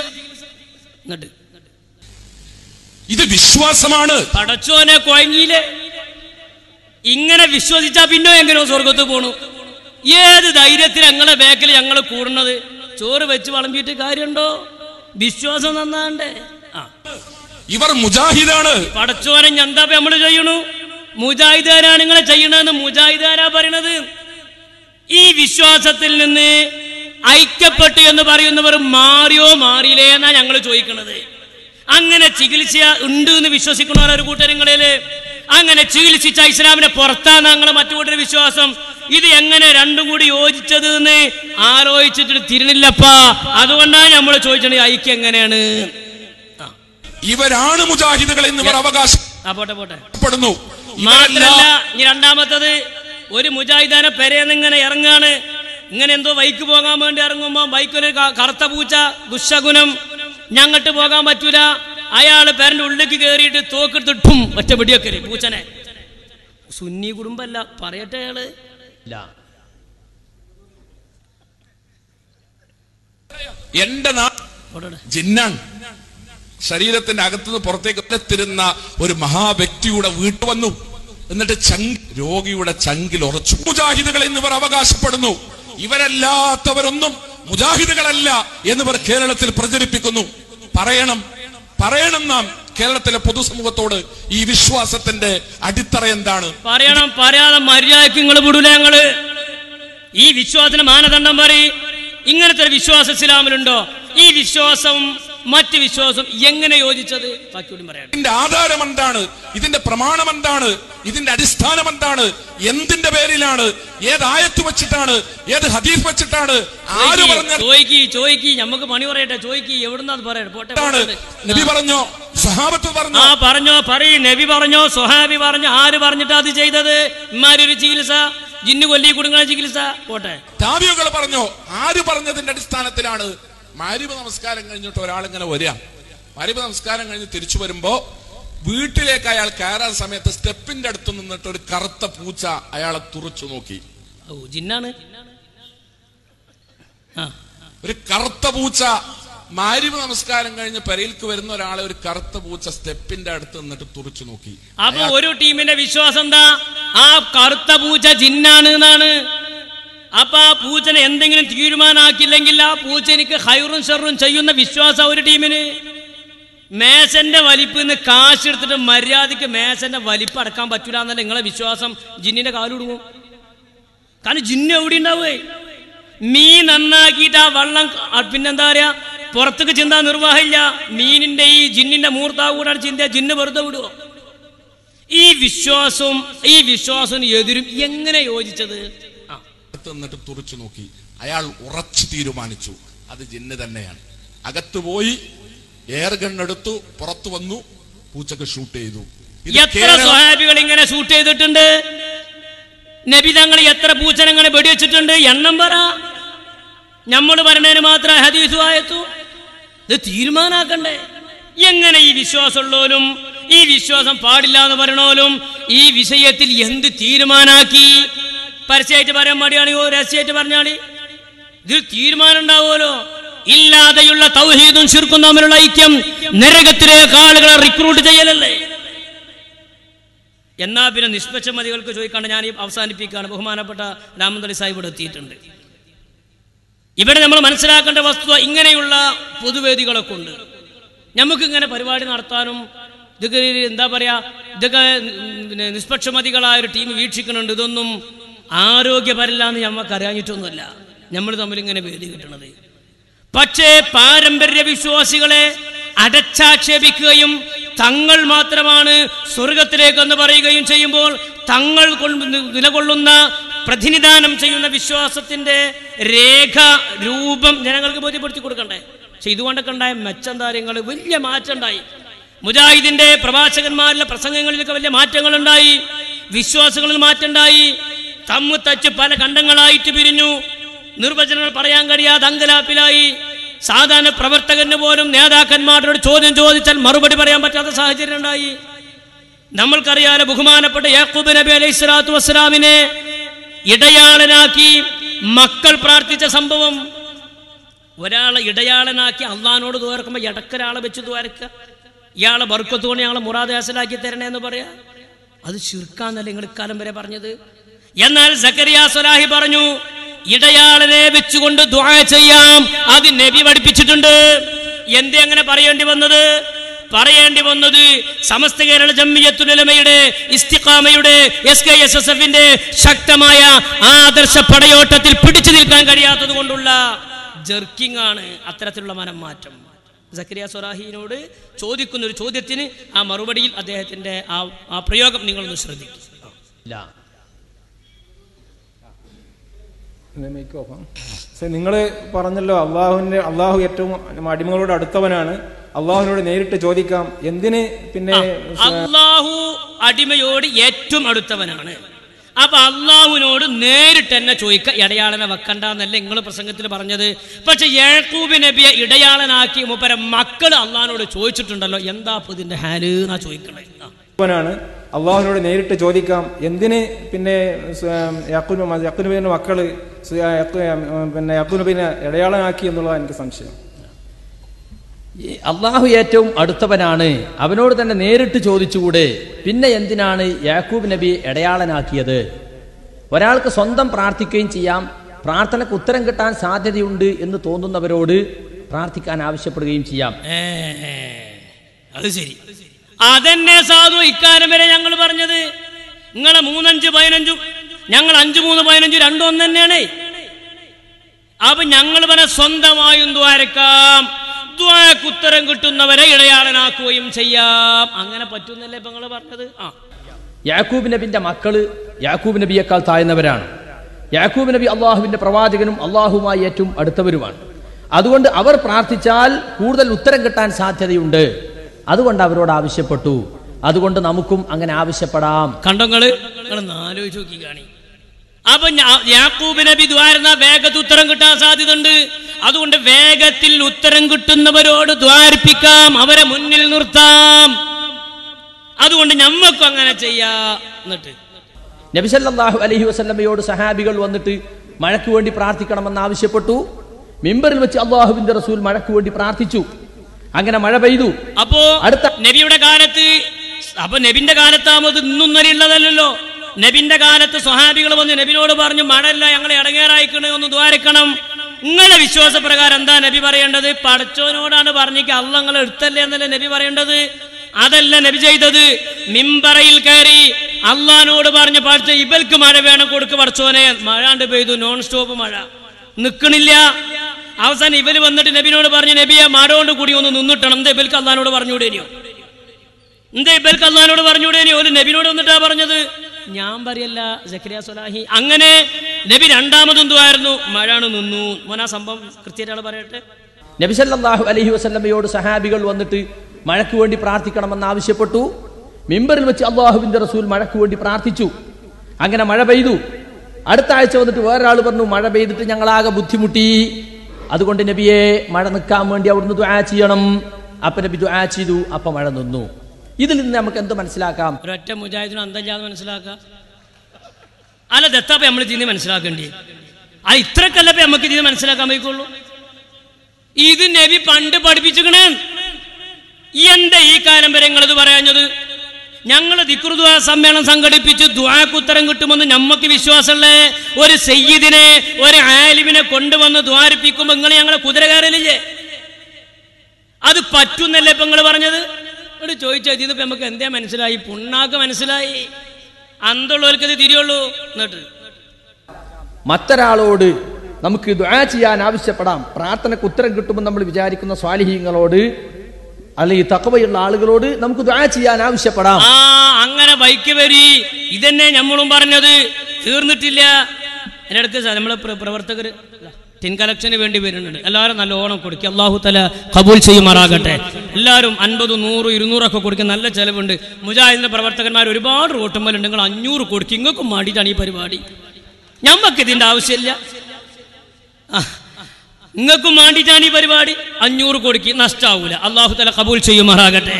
മാത്രമല്ല ആദർശ പ്രസംഗത്തിന്റെ മറ്റൊരു മറ്റൊരു മറ്റൊരു ഭാഗം മറ്റൊരു മാറ്റം ഞാൻ അതുകൂടി മന്നോട് അവസാനിപ്പിക്കുകയാണ്. ബഹുമാനപ്പെട്ട രാമചന്ദ്ര സാഹിബ് ഞാൻ വേദി ഒഴിഞ്ഞു കൊടുക്കുക. മറ്റൊരു മാർഗം ഹുസൈൻ സലഫിയുടെ പ്രസംഗങ്ങൾക്ക് വല്ലാതെ മാറിയത് ചിലപ്പോൾ അത് ആളെ കാണാൻ ഞാൻ അത് സുന്നി മോചാരാന്നാണ് തോന്നിപ്പോകുന്നത് അഞ്ചാതി വേളൊക്കെ ഇപ്പൊ പറയണത്. എത്രത്തോളം കാര്യങ്ങൾ സിയാറത്തിന് ഒരു കാലത്ത് നമ്മൾ സിയാറത്ത് ചെയ്യുകയും സിയാറത്തിന് പോവുകയും ചെയ്തപ്പോൾ ഖബർ ആരാധനയാണ് ഖബർ പൂജയാണ് പറഞ്ഞു. മദ്രസകളിൽ നിന്നും മറ്റുമൊക്കെ സിയാർത്ത് യാത്ര സംഘടിപ്പിച്ചപ്പോൾ നരകത്തിലേക്കുള്ള യാത്ര ഷിർക്കിന്റെ യാത്ര എന്നൊക്കെ പരിഹസിച്ചു. മമ്പുറത്ത് കുത്തുബുസമാന പരിസ സമീപത്ത് ചെന്ന് അവിടുത്തെ സിയാറത്ത് ചെയ്താൽ അത് കബറാരാധനയാണ് മമ്പുറം തങ്ങളെന്ന ബിംബത്തിന് ആരാധിക്കുകയാണ് എന്ന് വരെ പറഞ്ഞ ആളുകൾ പറയാണ് അല്ല കബർ സിയാറത്ത് ചെയ്യണം. കബർ കാണാൻ പോകണം. മക്ബറയിൽ പോലും സിയാറത്ത് ചെയ്യണം. ഹുസൈൻ സലഫിന്റെ പ്രസംഗം മാറി. വരട്ടെ. സിയാറത്ത് എന്ന് പറഞ്ഞാൽ അതേ സന്ദർശനം എന്നല്ലേ അതിന്റെ അർത്ഥം? അത് ശരി തന്നെയാണ്. സിയാറത്ത് എന്ന് പറഞ്ഞാൽ സന്ദർശനം തന്നെയാണ് അർത്ഥം. അത് ഉള്ള നമ്മളുള്ള തന്നെ പറയണമല്ലോ. നമ്മുടെ കുടുംബത്തിൽ എന്തോ അല്ലാത്തവരായിട്ടോ. ധാരാളം ആളുകൾ മരണപ്പെട്ട് കിടക്കുന്നില്ലേ? മൂപ്പര് മത്തുന് നമ്മൾ സർവമായിട്ട് കുറച്ചേരാണ്ട് പോവുക അപ്പൊ നമ്മൾ കുടുംബം കുറച്ച് അപ്പുറം വരട്ടെ.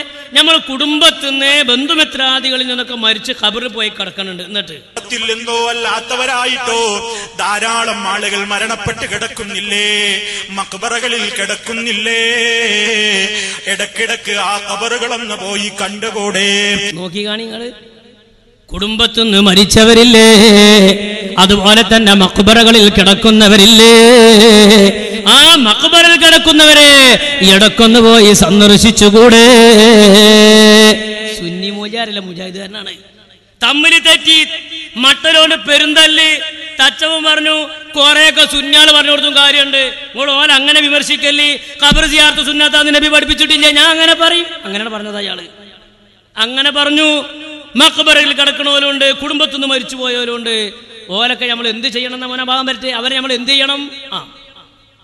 മരണപ്പെട്ട് കിടക്കുന്നില്ലേ? മക്ബറകളിൽ കിടക്കുന്നില്ലേ? ഇടക്കിടക്ക് ആ കബറുകളൊന്ന് പോയി കണ്ടുകൂടെ? ഞങ്ങൾ കാണലുണ്ട് മൗലവി. ഞങ്ങൾ പോകലുണ്ട് ഞങ്ങൾ സിയാർത്ത് ചെയ്യലുണ്ട്. അത് പുണ്യാന്ന് ഞങ്ങൾ നബി ഞങ്ങളെ പഠിപ്പിച്ചിട്ടുണ്ട്. ഞങ്ങൾ നേരത്തെ സക്കരിയ സൊലായി പറഞ്ഞ മാതിരി ഇങ്ങനെ തുണി കുപ്പായി മാറ്റണ മാതിരി ഞങ്ങൾ തൗഹീദ് മാറ്റലില്ല. നിങ്ങൾ ഞങ്ങൾ എത്ര കുതിര കയറിയാൽ ഞങ്ങൾ നിൽക്കണോടത്താ ഞങ്ങൾ നിൽക്കൽ അവർക്ക് വേണ്ടി അള്ളാഹുവിനോട് പ്രാർത്ഥിച്ചുകൂടെ?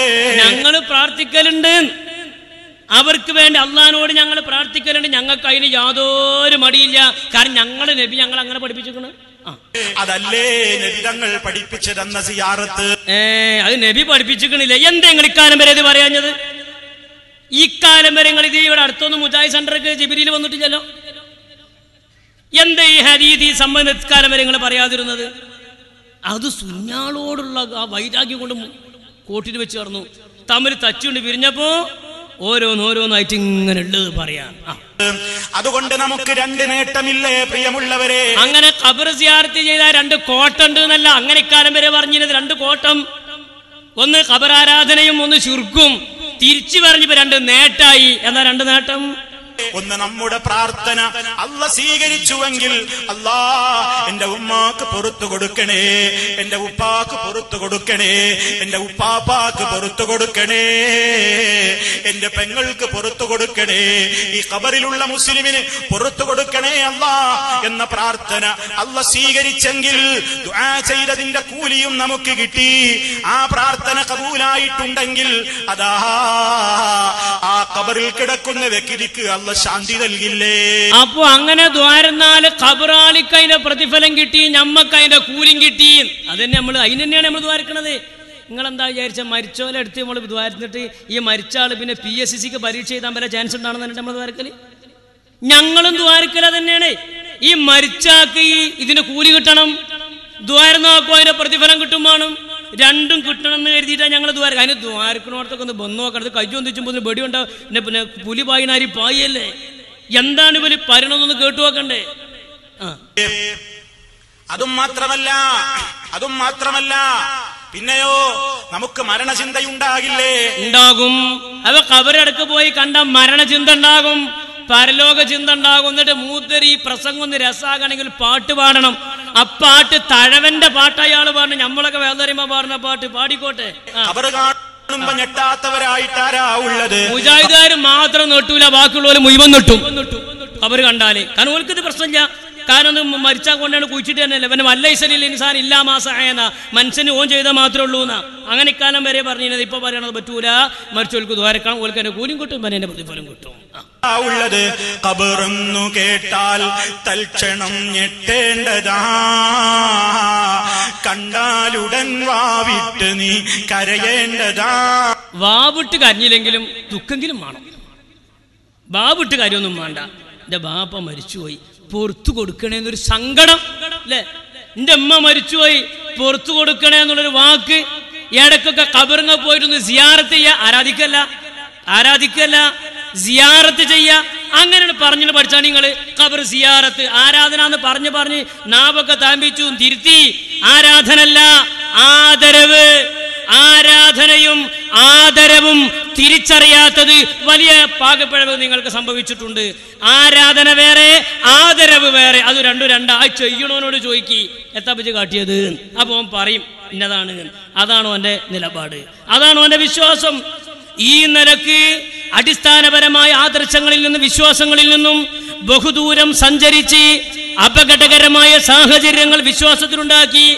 വളർന്നു വരുന്ന ചെറുപ്പക്കാരെ ഭൗതികമായ സാഹചര്യങ്ങൾ ഉപയോഗിച്ച് ഭൗതികമായ താല്പര്യങ്ങൾക്ക് വേണ്ടി വിശുദ്ധമായ ദീനിനെ കോട്ടിമാട്ടി വളർന്നു വരുന്ന ചെറുപ്പക്കാരുടെ മനസ്സിലേക്ക് പാരമ്പര്യമായ വിശ്വാസങ്ങളെ വികലമാക്കി ചിത്രീകരിച്ച് നമ്മളെ കര ഖബറാരാധകരാക്കി കുബൂരികളാക്കി അതുപോലെ തന്നെ ഈ നിലക്കുള്ള ഖുറാഫികളാക്കി ചിത്രീകരിച്ച് അപകടകരമായ ഒരു സാഹചര്യത്തിലേക്കാണ് നിങ്ങളുടെ സമുദായത്തെ കൊണ്ടുപോകുന്നത് അത് തിരുത്തണമെന്നും മാറണമെന്നുമാണ് നമ്മൾ പറയുന്നത്.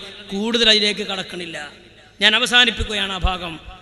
ബഹുമാന്യനായ പിന്നെ രാമന്ത്രി സഭ കാര്യങ്ങളൊക്കെ ഇവിടെ വിശദീകരിക്കും.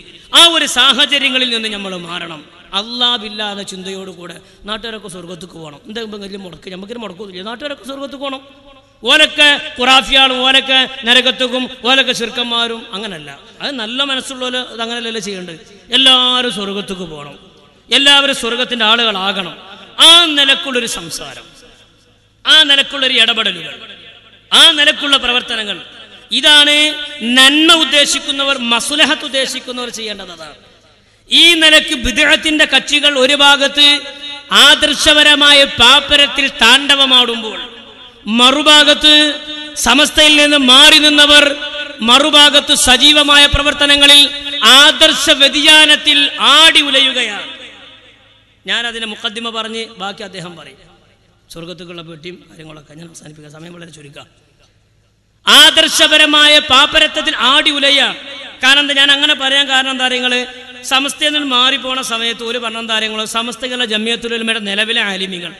കണ്ണിയത്ത് ഉസ്താദ് ശംസുലമ ഓൾക്ക് സുന്നത്ത് ജമാഅത്ത് ഇല്ല. സുന്നത്ത് ജമാഅത്തിന് വല്ലാത്ത അപാ അപാകത സംഭവിച്ചിട്ടുണ്ട്. രാഷ്ട്രീയക്കാരുമായിട്ട് ബന്ധപ്പെടുവാണ്. ഇങ്ങനെ പോയ സ്വർഗത്തേക്ക് എത്തൂല അപ്പൊ നമ്മൾ എന്ത് ചെയ്യണം? സ്വർഗത്തേക്ക് എത്തുന്ന അല്ല ബില്ല വേറെ ഒന്നുമില്ല ആ ഒരു ചിന്തയിൽ ഒരു സംഘടന. രാഷ്ട്രീയം കാണാനും പാടില്ല തൊടാനും പാടില്ല എടുത്തുകൂടെ പോകാനും പറ്റൂല. കാരണം സ്വർഗത്തേക്ക് എത്തൂല അപ്പൊ അങ്ങനൊന്നും ഇല്ലാത്തൊരു സംഘടന വേണം എന്ന് പറഞ്ഞ് മാറിപ്പോയ ആളുകൾ. അതിന്റെ ചുരുക്കാണ് ഞാൻ ഈ പറയണത്. ആ മാറിപ്പോയ ആളുകൾ ഇവരുടെ പഴയ നേതാക്കന്മാരുടെ പ്രസംഗത്തിൽ പറഞ്ഞ എന്താ? നമുക്ക് സുന്യയിച്ചൊരു കളിയില്ല. Sunni students federation Sunni Vachana Sangham S B S Sunni Balasangham Sunni Vidyabhyasa board ഇങ്ങനെ പ്രസംഗിച്ചിരുന്നൊരു കാലം. അതൊക്കെ മാറി കേരള മുസ്ലിം ജമാഅത്ത് രൂപീകരിച്ചപ്പോൾ നമ്മൾ ചോദിച്ചു ഇതിന് സുന്നി കാണാനില്ലല്ലോ. ഇന്ന് വരെ അതിന് മറുപടി കിട്ടിയിട്ടില്ല. കൂറ്റമ്പാറ ആവശ്യം എന്ന് പറയട്ടെ. അതിന്റെ ചുരുക്കമാണ് സുന്നി എന്നത്. ആ സുന്നി എന്നതിലേക്ക് സൂചിപ്പിച്ചുകൊണ്ടാണ് നമ്മുടെ സംഘടനകളുടെ എല്ലാം ആദ്യത്തിൽ കാണുന്ന എസ് ഇപ്പൊ നമ്മളെ മദ്രസിൽ കുട്ടിയൊക്കെ സംഘടന ഉണ്ട് എസ് ബി എസ് എന്ന് അതിന് പറയാം? ഇവിടെ സാറേ S B S Sunni Balasangham. Sunni വിശ്വാസികളായ കുട്ടികളുടെ കൂട്ടായ്മ. അതിന് കുറച്ചും കൂടി മീതൊക്കെ പോയാൽ S S F Sunni students federation. അതിന് കുറച്ചും കൂടി പേരൊക്കെ പോകുമ്പോ എസ് വൈ എസ് സുന്നി യുവജന സംഘം ഇതൊക്കെ പേരിലുള്ള ഈ വെള്ളിക്കോൽ പറഞ്ഞ സാധനം കണ്ടു ഞങ്ങൾ ഈ കുണ്ടന്മാർക്ക് തിരിയില്ല. പഴയ ആൾക്കാർക്കറിയാം പണ്ടിങ്ങനെ പൂളും ചക്കരയും ഒക്കെ തൂക്കാൻ വേണ്ടി ഉപയോഗിച്ചിരുന്ന തുലാസന് വെള്ളിക്കോൽ. ഇത് കേട്ടാ അത് മുഴുവൻ വെള്ളി കൊണ്ടാണ്. അത് അരിച്ചു പൊറിക്കാൽ അര ശതമാനം വെള്ളി അതിന് കിട്ടൂല. അതിന്റെ പേര് വെള്ളി എന്ന്. അങ്ങനത്തെ ഒരു സംഘടന കൂട്ടിയാൽ മതി. ഇവർക്ക് ഈ കാര്യങ്ങളൊക്കെ പഠിപ്പിക്കാൻ വേണ്ടി പുസ്തകങ്ങളൊക്കെ തയ്യാറാക്കി വന്നു നോക്കുമ്പോൾ അതിന് പേര് സുന്നി വിദ്യാഭ്യാസ ബോർഡ്. സുന്നി വിദ്യാഭ്യാസ ബോർഡിന്റെ പുസ്തകത്തിലാണ് പെണ്ണുങ്ങൾക്ക് പിന്നെ കുത്തുബോധാന്നൊക്കെ എഴുതിയതായി പൈക്ക് പോട്ടെയാണ് അതിന്റെ ഉസ്താദുമാരായ കാവൽ ഭടന്മാർക്ക് പേര് സുന്നി ജംഇയ്യത്തുൽ മുഅല്ലിമീൻ. ഇതിന് നേതൃത്വം നൽകുന്ന പണ്ഡിത സഭക്ക് സുന്നി ജംഇയ്യത്തുൽ ഉലമ. കണ്ടങ്ങൾ? സമസ്ത കേരള സുന്നി ജമ്മിയത്തുലമ സമസ്ത കേരള ജമ്മിയത്തുലമല്ല സാധു അറിയാതാണ് പറഞ്ഞതാണ്. സമസ്ത കേരള ജമ്മിയത്തുലമ തൊള്ളായിരത്തി ഇരുപത്തി ആറിൽ വരക്കൽ മുല്ലക്കോയ തങ്ങളെ സ്ഥാപിതമായി കോഴിക്കോട് രജിസ്റ്റർ ഓഫീസിൽ ആയിരത്തി തൊള്ളായിരത്തി മുപ്പത്തി മൂന്ന് ബാർ മുപ്പത്തിനാലിൽ ഒന്നാം നമ്പറായി രജിസ്റ്റർ ചെയ്ത സമസ്ത കേരള ജമ്മിയത്തുലമ ഒന്ന് ഒന്ന്. ഭാഗം വരട്ടെ. ഇത് സമസ്ത കേരള സുന്നി ജമ്മിയത്തുലമയാണ് വേറെ സംഘടനയാണ്. സംസ്ഥാന കേരള ജമിയത്തുലമാക്കെ പറഞ്ഞ മാതിരി. നൽകുന്ന പണ്ഡിത സഭക്ക് സുന്നി ജംഇയത്തുലുലമ സമസ്ത കേരള സുന്നി ജംഇയത്തുലുലമ അതിന്റെ ഏറ്റവും വലിയ കേന്ദ്രമായിട്ട് പ്രവർത്തിക്കുന്ന സ്ഥാപനത്തിന് പേര് സുന്നി മർക്കസ്. അപ്പൊ നമ്മളൊക്കെ ഏതെങ്കിലും കാര്യത്തിൽ ഒത്തുചേരുന്നുണ്ടോ അത് സുന്നിക്ക് വേണ്ടി. അപ്പൊ കേരള മുസ്ലിം ജമാഅത്തോ? മറുപടിയില്ല. കേരള മുസ്ലിം ജമാഅത്തിൽ സുന്നി കാണാനില്ല. അപ്പൊ എല്ലാം സുന്നിക്ക് വേണ്ടിയാണ് കേരള മുസ്ലിം ജമാഅത്തിന് സുന്നില്ല. അപ്പൊ അന്വേഷിച്ച് നോക്കുമ്പോൾ എന്താ നിങ്ങൾ വെറും സുന്നി സുന്നി എന്ന് പറഞ്ഞ് മാത്രം നടന്നാൽ സമസ്തനെ അടിക്കാൻ ഒരു വടി ബലമായൊരു വടി കിട്ടൂല. അപ്പൊ കേരള മുസ്ലിം ജമാഅത്ത് എന്ന് പറഞ്ഞാൽ മൊത്തം മുസ്ലിമീങ്ങളിൽ ആരെയും ഉൾക്കൊള്ളാൻ പറ്റുന്ന ആരെയും പ്രതിനിധാനം ചെയ്യാൻ പറ്റുന്ന ആരെയും കൂട്ടുപിടിക്കാൻ പറ്റുന്ന സമസ്തയെ അടിക്കാൻ പറ്റുന്ന നല്ലൊരു വടി കിട്ടണമെങ്കിൽ ഒരു മുസ്ലിം ബഹുജന കൂട്ടായ്മ വേണം. അതാണ് കേരള മുസ്ലിം ജമാഅത്ത്. ആ ബഹുജന കൂട്ടായ്മയുടെ അനന്തരഫലം മഹല്ലുകളിൽ നടക്കുകയാണ്. ഉദാഹരണം പറയാം. ഈ കേരള മുസ്ലിം ജമായത്തിന് യൂണിറ്റ് ഉണ്ടാക്കി. ഈ താനാറൂർ താനാളൂർ ഈ മഹല്ലിൽ. യൂണിറ്റ് ഉണ്ടാക്കിയ പള്ളിയുടെ മുമ്പിൽ ഒരു ബോർഡ് കേരള മുസ്ലിം ജമാഅത്ത് കമ്മിറ്റി. പള്ളിക്കൊക്കെ വരുന്നവൻ അന്തം വിടൂലേ? കേരള മുസ്ലിം ജമാഅത്ത് കമ്മിറ്റി. അത് നമ്മൾ പള്ളി കമ്മിറ്റി നീക്കാരം അങ്ങനെ ചെരുപ്പൂരി ഐക്കൂടെ കയറുമ്പോൾ അവിടെ ഒരു ബോർഡ്. താനാളൂർ മഹല്ല് മുസ്ലിം ജമാഅത്ത് കമ്മിറ്റി. അത് രണ്ടെണ്ണം ഒരുപോലെ മനുഷ്യന്മാരാകെ ഇൽത്തിബാസാകും ഇൽത്തിബാസ് ആകണം അതിനു വേണ്ടിയിട്ടാണ് കേരള മുസ്ലിം ജമാഅത്ത് എന്ന് പേരിട്ടത്. അത് അതാത് മഹല്ലുകളിലേക്ക് നിസ്ബ ചെയ്ത് ചേർത്തി പറയാം താനാളൂർ മഹല്ല് മുസ്ലിം ജമാഅത്ത് കമ്മിറ്റി കുഴിമണ്ണ മഹല്ല് മുസ്ലിം ജമാഅത്ത് കമ്മിറ്റി രാമന്തളി മഹല്ല് മുസ്ലിം ജമാഅത്ത് കമ്മിറ്റി. അതാത് മഹല്ലിലേക്ക് നിസ്ബ ചെയ്ത് പറഞ്ഞാൽ ഇത് പുതിയ സംഘടനയാണോ? അത് ഇതേ നാട്ടിലത്തെ മഹല്ല് കമ്മിറ്റിയാണോ എന്ന് ആളുകൾ ആകെപ്പാട് തസ്ബീസാവും. റെസീറ്റ് അടിച്ചാലും സുഖമാണ് പിരിച്ചാലും സുഖമാണ് കുടുങ്ങൂല. അതിന്റെ പുതിയൊരു തന്ത്രമാണ് കേരള മുസ്ലിം ജമാഅത്ത് കമ്മിറ്റി. ആ ഒരു തന്ത്രത്തോടുകൂടെ സമസ്തക്കെതിരെ അന്ന് ആരോപിച്ചിരുന്ന ആരോപണങ്ങളിൽ അതിവിദൂരമായി സമസ്ത ഈ ആദർശത്തിൽ നിന്ന് മാറി നിന്നു. ഞാൻ ഈ കിടക്കുന്നു ഞാൻ അവസാനിപ്പിക്കുകയാണ്. സമസ്ത കേരള ജമ്മിയത്തിലൊരുമയുടെ ആശയങ്ങളും ആദർശങ്ങളും അത് എന്നും സുതാര്യമാണ്. ആ സുതാര്യമായ ആശയങ്ങളും ആദർശങ്ങളും അത് നമ്മൾ നിലനിർത്തി മുന്നോട്ട് പോവുകയും അള്ളാബില്ല എന്ന ചിന്തയോടുകൂടെ മുന്നോട്ട് പോവുകയും ചെയ്യുക. ഇവിടെ ഹെൽമെറ്റിന്റെ വിഷയം പറഞ്ഞുകൊണ്ട് മാത്രം അദ്ദേഹം പറയാൻ ഞാൻ ആ പ്രസംഗം കരിമാനെ പതിനാല് ഞാൻ അവസാനിപ്പിക്കുകയാണ്. ഇവിടെ ഹെൽമെറ്റ് ഇവിടെ കച്ചവടം നടന്നതുകൊണ്ട് ഞാൻ അതിന്റെ ചെറിയൊരു വിഷയം പറയാം. ഹെൽമെറ്റ് ആർക്കും വെക്കാം അത് സബുൽ മൂബി കാത്തൊന്നല്ല കേട്ടോ. ഹെൽമെറ്റ് പണ്ടേ ബുക്കിൽ ബൈക്ക് ഇറങ്ങി മുതൽ ഹെൽമെറ്റ് ബുക്കിൽ തുടങ്ങിയിരിക്കണേ പക്ഷേ സിറാജുൽ ഹുദയുടെ സമ്മേളനത്തോടനുബന്ധിച്ച് ഹെൽമെറ്റ് പുറത്തിറക്കിയപ്പോൾ അതിനോടനുബന്ധിച്ച് നടത്തിയ പ്രശ്നങ്ങൾ ഹെൽമെറ്റിന്റെ അഞ്ച് ഗുണങ്ങൾ എണ്ണി പറഞ്ഞിട്ടുണ്ട്. അത് ഏത് കിതാബിലാണ് നമുക്ക് ഇതിനെ കിട്ടിയിട്ടില്ല. ഏ എന്നാ ഹെൽമെറ്റിന് മുമ്പും പടില്ലേനിയോ മോനാ ഭാഗം പറയട്ടെ. എന്താന്ന് ചോദിച്ചാൽ ഓരോ ജില്ലയിലും ഇരുപത്തഞ്ച് ഹെൽമെറ്റ് വിതരണം. അതിൽ അഞ്ച് കാര്യമുണ്ട്. ഹെൽമെറ്റ് ഇട്ടാൽ അഞ്ച് കാര്യങ്ങൾ അവിടെ കിട്ടും നമുക്ക്. ഒന്ന് തലമറച്ച സുന്നത്ത്. അതെന്താ ഞാൻ കേട്ടില്ല മോനെ ഭാഗത്തിന് എന്തേനു? ആ. അതിൽ അഞ്ച് കാര്യമുണ്ട്. അപ്പൊ സ്വലാത്തി അല്ലാൽ ഇത്ര ഗുണമുണ്ടെന്നൊക്കെ നമ്മൾ സാധാരണ പറയലുണ്ട്. തഹജു സ്കരിച്ചാൽ ഇത്ര ഗുണം ദുഹാൻ സ്കരിച്ചാൽ ഇത്ര ഗുണം എന്നൊക്കെ നമ്മൾ പറയലുണ്ടല്ലോ. അതുപോലെ ഹെൽമെറ്റ് ഇട്ടാളെ ഗുണം. ഇതിന് കേട്ടിന് കുണ്ടന്മാർക്ക് എന്തൊരു സന്തോഷമാണ് ഞങ്ങൾ വലിയ സന്തോഷമായി കാരണം സുന്നത്ത് ജമായത്തിന്റെ എന്താ സുന്നത്ത് ജമായത്തിന്റെ പരിചാന്ന ഹെൽമെറ്റിനെ പറ്റി അദ്ദേഹം പറയണേ ഓ പറഞ്ഞാണ് ഒന്ന് തലമറച്ച സുന്നത്ത്. അപ്പൊ ഇനി പള്ളിക്ക് പോകുമ്പോൾ ഹെൽമെറ്റ് ഇട്ട് പോയാൽ മതി. തലമർച്ച സുന്നത്ത് ഇട്ടല്ലോ സുജൂതി ചെയ്യുമ്പോൾ ഒന്നാട് തല കുത്തണം മറിഞ്ഞാടും മാത്രം. കാരണം ഹെൽമെറ്റ് എടുത്ത് വെച്ചു എങ്ങനെ ചെയ്യാം? ആയിക്കോട്ടെ എന്നാലും വണ്ടിയില്ല ആ. മറ്റൊന്ന് തലക്ക് പരിക്ക് പറ്റാതിരിക്കാൻ. തലക്ക് പരിക്ക് പറ്റൂല രണ്ടാമത്തെ സുന്നത്ത്. വേറെ ഒന്ന് കൃത്യത്തിന് ഓരോ സ്ഥലത്തും എത്തിച്ചേരൽ കാരണം പോലീസുകാർ പിടിച്ചേക്കൂല. അപ്പൊ കൃത്യസ്ഥലത്തേക്ക് എത്താൻ ഹെൽമെറ്റ് ഇടുക. കാരണം ബൈക്കിൽ നിന്ന് പോലീസ് പിടിച്ചൂല. പോലീസ് ഹെൽമെറ്റ് ഇടാതെ പോയാൽ പിന്നെ പോലീസ് പിടിക്കും സമയം വയ്ക്കുമല്ലോ ആ. നാലാമത്തത് നിയമം ലംഘിക്കാതെ ജീവിക്കണം എന്ന മെസ്സേജ് നൽകുക ബാക്കിയുള്ളവർക്കൊക്കെ നിയമം ലംഘിക്കാം. മഹൽ രണ്ടെണ്ണാക്കാം മദ്രസ രണ്ടെണ്ണാക്കാം ബാപ്പാനോടും ഉണ്ടാക്കാം അമ്മാനോടും ഉണ്ടാക്കാം അവിടെയൊക്കെ നിയമം ലംഘിക്കാം. ഇവിടെ ഹെൽമെറ്റ് നിയമം ലംഘിക്കണം. കാരണം ഹെൽമെറ്റ് ഇട്ടാ പിന്നെ പോലീസിന്റെ നിയമം അങ്ങനെയാണല്ലോ. അഞ്ചാമത്ത്. അഞ്ചാമത്തത് അതിന്റെ ബാക്കിലും സൈഡിലും സിറാജുൽ ഹുദ സിൽവർ ജൂബിലി ഫെബ്രുവരി മൂന്ന് നാല് അഞ്ച് എന്ന പ്രചരണം. ഞാൻ അവസാനിപ്പിക്കുന്നു. അസ്സാം വലൈക്കും